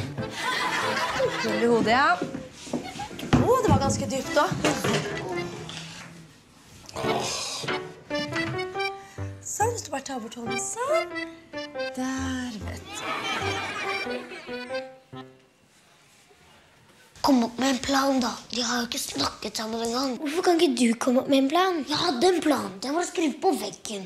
Ja, det fungerte veldig godt. Hvem som skyld for det? Det er din tur til å finne på noe. Jeg vet ikke hvordan man skal gjøre noe forelsket. Det er du som alltid har flere kjærester. Ja, det bare skjer, det. Han er så deilig å snakke med noen som skjønner hva jeg mener. Takk, det samme. Det er virkelig en fornøyelse å jobbe med deg. Hva skjedde egentlig nå? Jeg vet ikke, men vi er i hvert fall geniale. Ja, det var siste støvkorn. Au! Gikk det bra? Jeg bare strakk noe, tror jeg. Du er helt stiv, jo. Jeg skal ta og massere deg litt. jeg. Sjekk der. Vi skal bli søsken. Kult. Da kan vi leke sammen hver eneste dag. Søs. Brutter'n. Men hvor skal vi bo?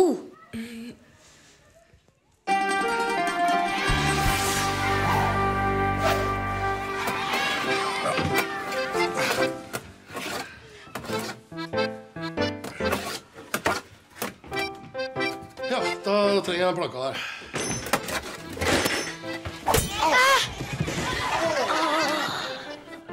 Pappa!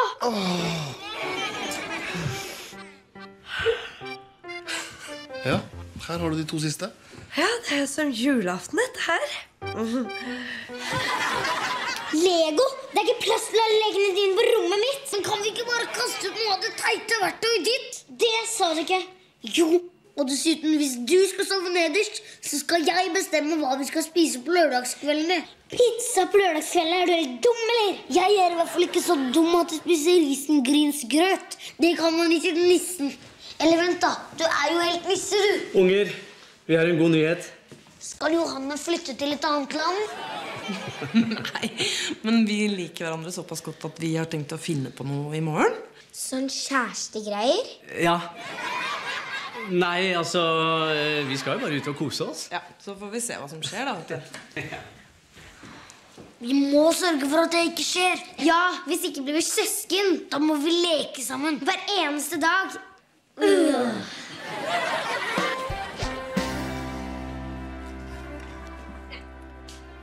Himalaya, er dere ikke begynt å rydde ennå? Jo, vi er ferdige. Det som skal kastes, er den boksen der. Er det ingenting som skal kastes på hele SFO? Nei.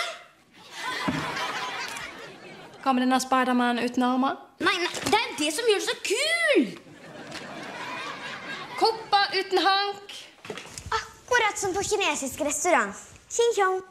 Det eneste som vi kan kaste, er kanskje denne. Å nei, du kan ikke kaste denne her. Den gamle dokka mi fra jeg var liten. Du skal i hvert fall ikke kastes. Hei, Olga. Det var så lenge siden. Å, har, har dere sett låret hennes? Miste foten, stakkars. Den må vi ta på plass. Hun var så kald, du. Fryser du? Det kan ikke ta med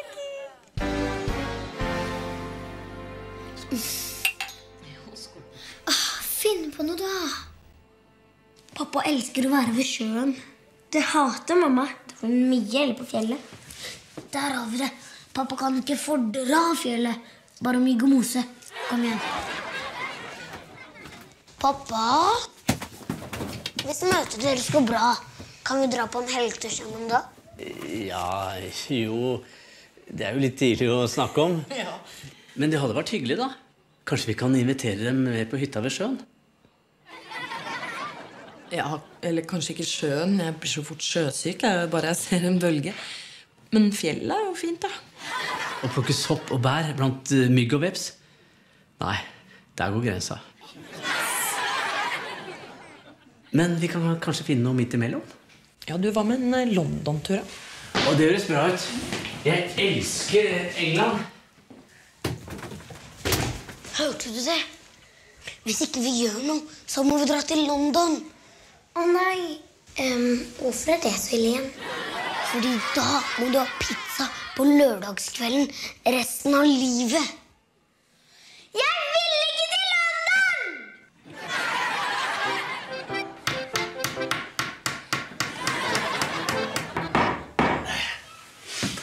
Ja.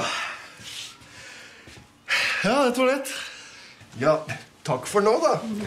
Ja, jeg syns vi har vært skikkelig flinke. Dette blir veldig flott, Ola. Ja, Innsatsen har ikke vært noe å si på. Han var veldig flink å snekre i sin ungdomstid. Ah, du vet, en, en glemmer jo ikke sine gamle kunstnere, vet du. Nei, det Det var kjempeflink, pappa. Nå må vi prøve deg. Ja, det syns jeg vi skal gjøre.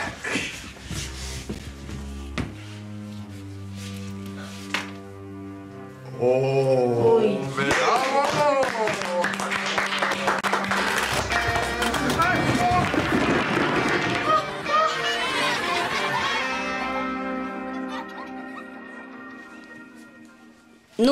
du gi deg, ellers får vi ikke ryddet opp. Slapp av. Jeg visste ikke at hun hadde så masse fint engang. Skal du ha hvit eller gul jakke? Blir du ikke hvit? Dugnaden er snart ferdig. Ja, det er ikke mas. Jeg skal rydde. Kan godt ha hvit du. Er litt eggeskallfarga, denne her, så den er fin til huden din. Men da henter jeg deg i morgen, jeg, da. Ja, jeg gleder meg. Så gjør noe, da. Eh, Pappa, Ja? det med London.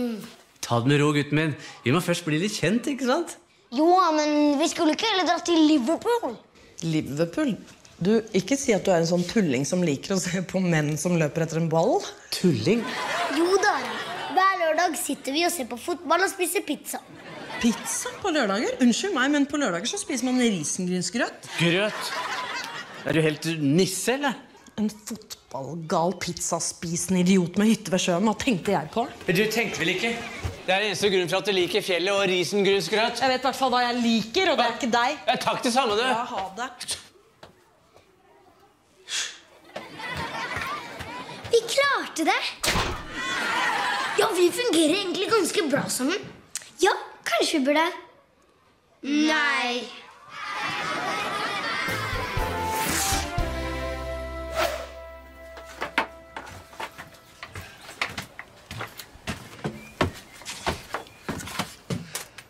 Litt av en dugnad. Ja. Har de gjort noe, eller? Nei. Ja.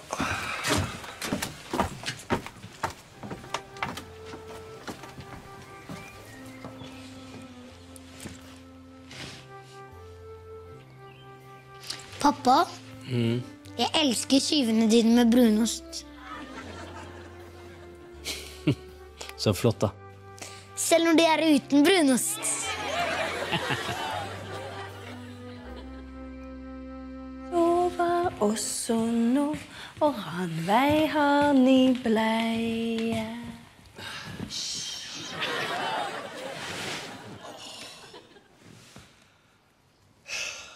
Du sitter der ennå. Har bare sittet et par minutter. Alle de andre har gått hjem, altså. For over en time siden. Har de gått? Hvordan gikk det med snekringen? Åh, så ble det ikke gjort noe ting i dag, da? Si ikke det. Solveig? Nye gardiner? Men hvis det ikke er mer garn igjen, så tror jeg jeg går hjem nå.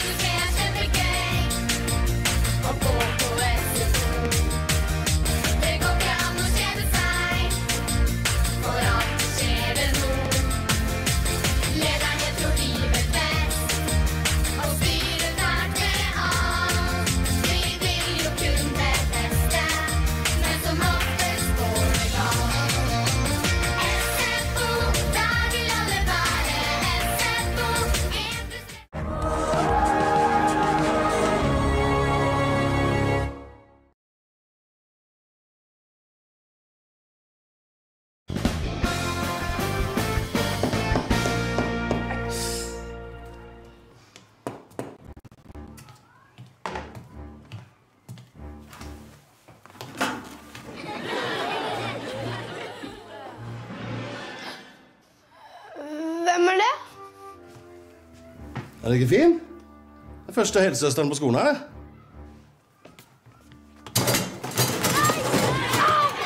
Gikk det bra, eller, Sofus? Nei, jo, men Altså Hun er skummel. Kan du ta henne ned? Det er bare et gammelt bilde, det der. Du kan ikke gjøre deg noe, hun. Tullegutt.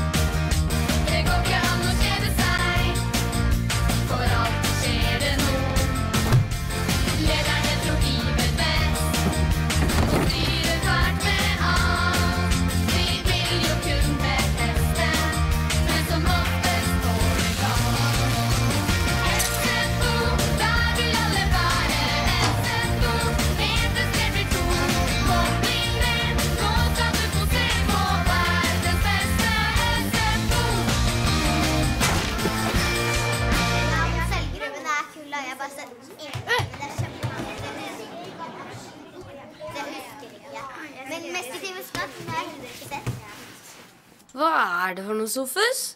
Damen, gangen, vaktmesteren. Bildet. Hun så på meg. Hva? Da er det klar for Olsenbanden junior hvert øyeblikk. Ja! Det blir skikkelig gøy. Jeg har aldri sett Olsmannen junior før. Er det sant? Ja, mamma og pappa sier det er for skummelt for meg. Da lurer jeg på hva de hadde sagt hvis de hadde sett dette. Tyver. Ekte tyver.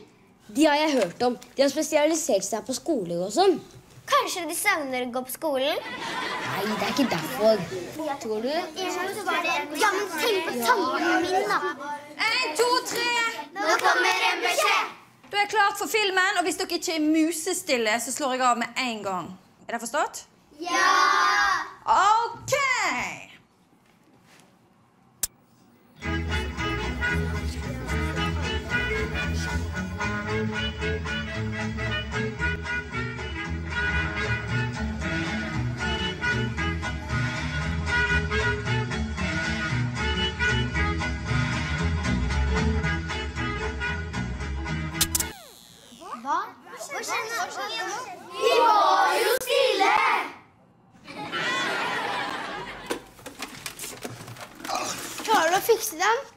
Det veit jeg ikke ennå.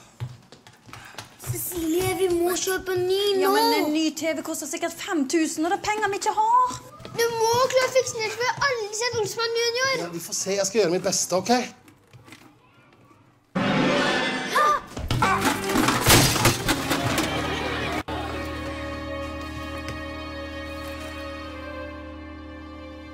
Nå vet jeg ikke om mitt beste er godt nok lenger. Um,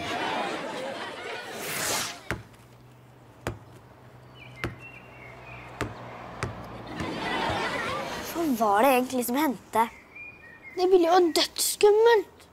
Hvis du blir så redd for et bilde, så skjønner jeg godt at du ikke får lov til å se Olsmannen. Hun så på meg med det skumle blikket. Hvem? Damen på bildet. Nei, nå må du gi deg, Sofus. Det er jeg som pleier å lyve. Men det er sant. Jeg vet hvordan vi kan få sett den filmen likevel. Vil fikse TV-en. Nei, men vi kan samle inn penger til ny.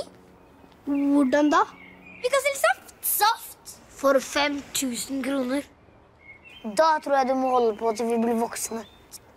Og det blir jo aldri du.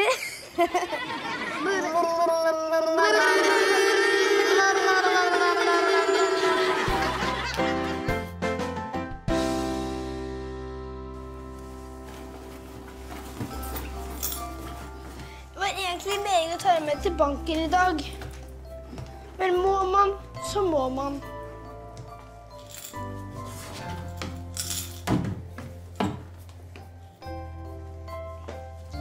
Farvel, min gamle venn. Du har fulgt meg siden jeg fikk min første krone. Men dette er viktigere enn deg og meg. Nei, Sofus, ikke gjør det. Vi kan selge saft. Unnskyld, barn. Jeg skal til helsesøster. Er du sikker på det? Ja, Hvorfor lurer du på det? Hun er ung. Akkurat. Og så er hun søsteren min. Men du har nok rett. Hun var ganske slem mot meg når vi var små. Og du, unge mann, hvorfor vil du kvitte deg med sparegrisen din? Jeg trenger 5000 kroner til ny TV og alt det der dumme bilder skyld. Hva skal vi var kvitt deg. Vet du, det kan jeg kanskje hjelpe deg med. Er det sant? Du må ta hardt i, du skal få høre på den. Som de kanskje har lest i avisen, har det vært mange tyverier fra skoler og SFO-er i det siste. Jeg går og handler. Finn ut hvor godsaken er. Unnskyld? Hæ? Han sa vi vil gjerne forsikre oss om at verdisaken er tilstrekkelig sikret. Verdisaker. Unnskyld, nå skjønner jeg ikke helt. Han pass deg. Han har ikke spist i dag. Ja, altså, her inne så fins det ingenting av verdi.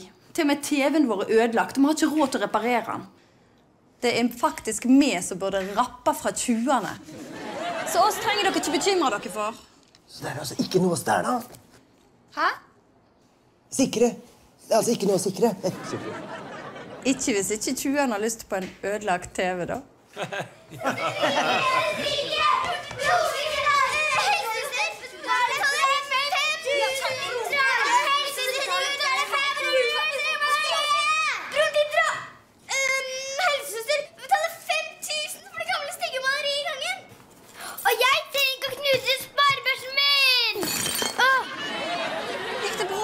bra, Jeg tror det.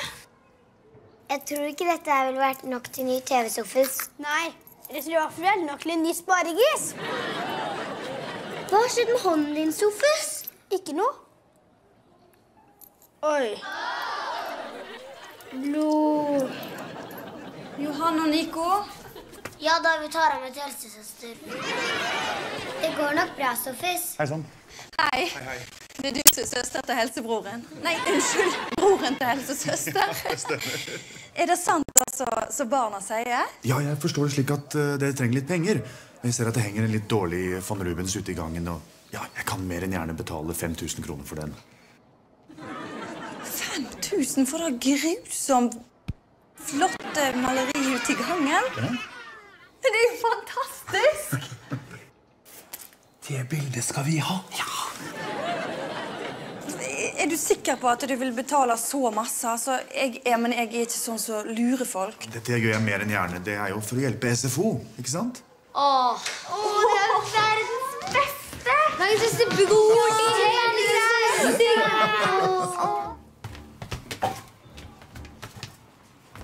Tenk at noe så stygt kan være verdt så mange penger.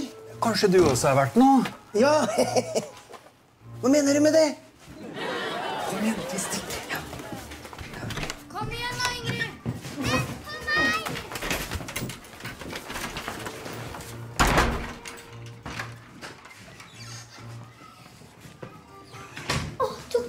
På til Sofus? Ja, jeg har dem her i lomma mi. Å nei, de er borte! Det er tyver på SFO! Vi er oppdaga! Ikke vær dum, det er ikke vårs. Er det flere tyver her? Da må vi passe godt på bildet. Vi sniker oss ned trappa her. Ja, ja.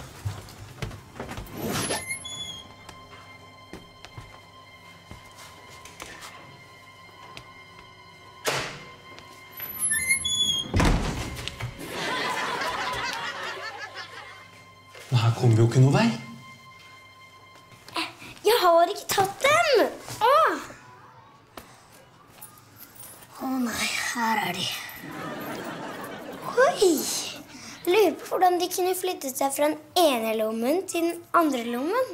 Veldig vanskelig. Du vet, Folk liker forskjellig. og Det øyet som ser. Smaken som baken. Men hvor er egentlig? Bildet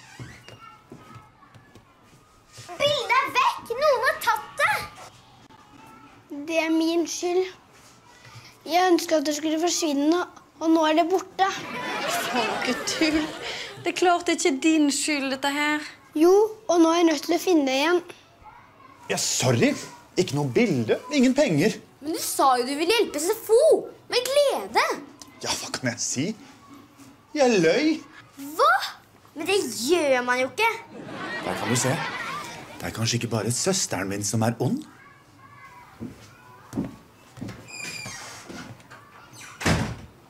Veldig spesiell type. Himalaya. Kom.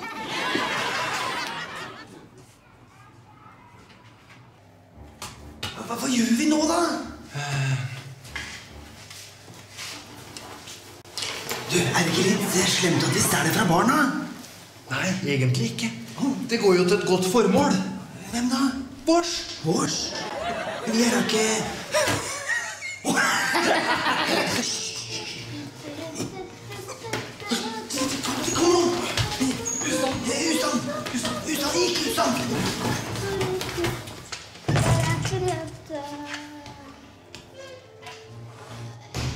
finne det bildet. Men først må jeg noe helt annet.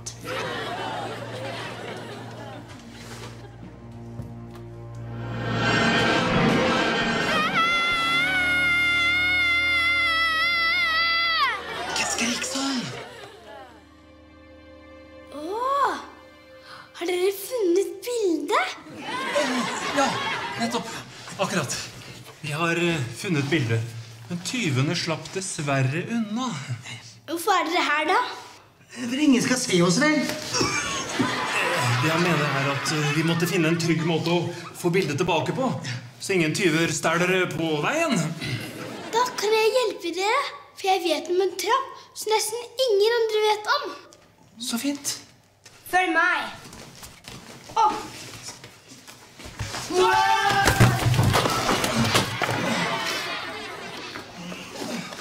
Dere må knytte skolissen deres, ellers så faller man.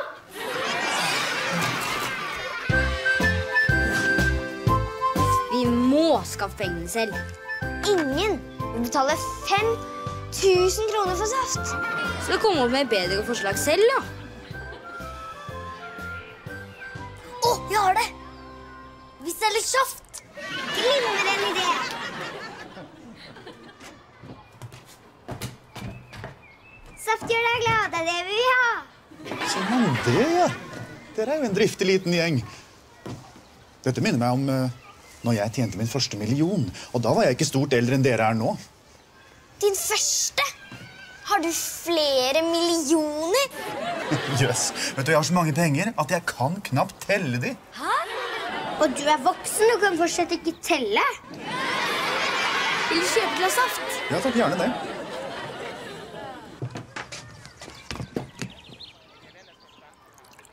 Det går til ny TV. Ja, jeg skjønner det. Takk. Mm. Og hvor mye koster saften? Tusen kroner. Er du Skal jeg hente søsteren? Nei, takk, takk, det holder. Nei. 1000 kroner for et glass saft, du liksom. Det er jo ran. Nei, ran er hvis man bare tar det. Til å være voksen så vet du ikke så mye. Da trenger vi bare å selge fire glass til, så har vi ny TV. Vet dere hva? Nå skal vi se her.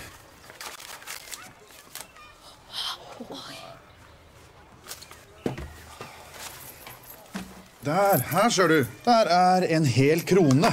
Det tror jeg får holde. Selv om pengene går til SFO. Ja, spesielt da. Ja, men da må vi jo selge 4999 glass med saft til. Ja, Det må dere ha lykke til med. Takk for safta. Ha en god dag, barn. Se! Nei, nei, nei, hør nå, på, hør nå på meg, unger. Det er ikke min skyld at dere har ødelagt TV-en eller rota bort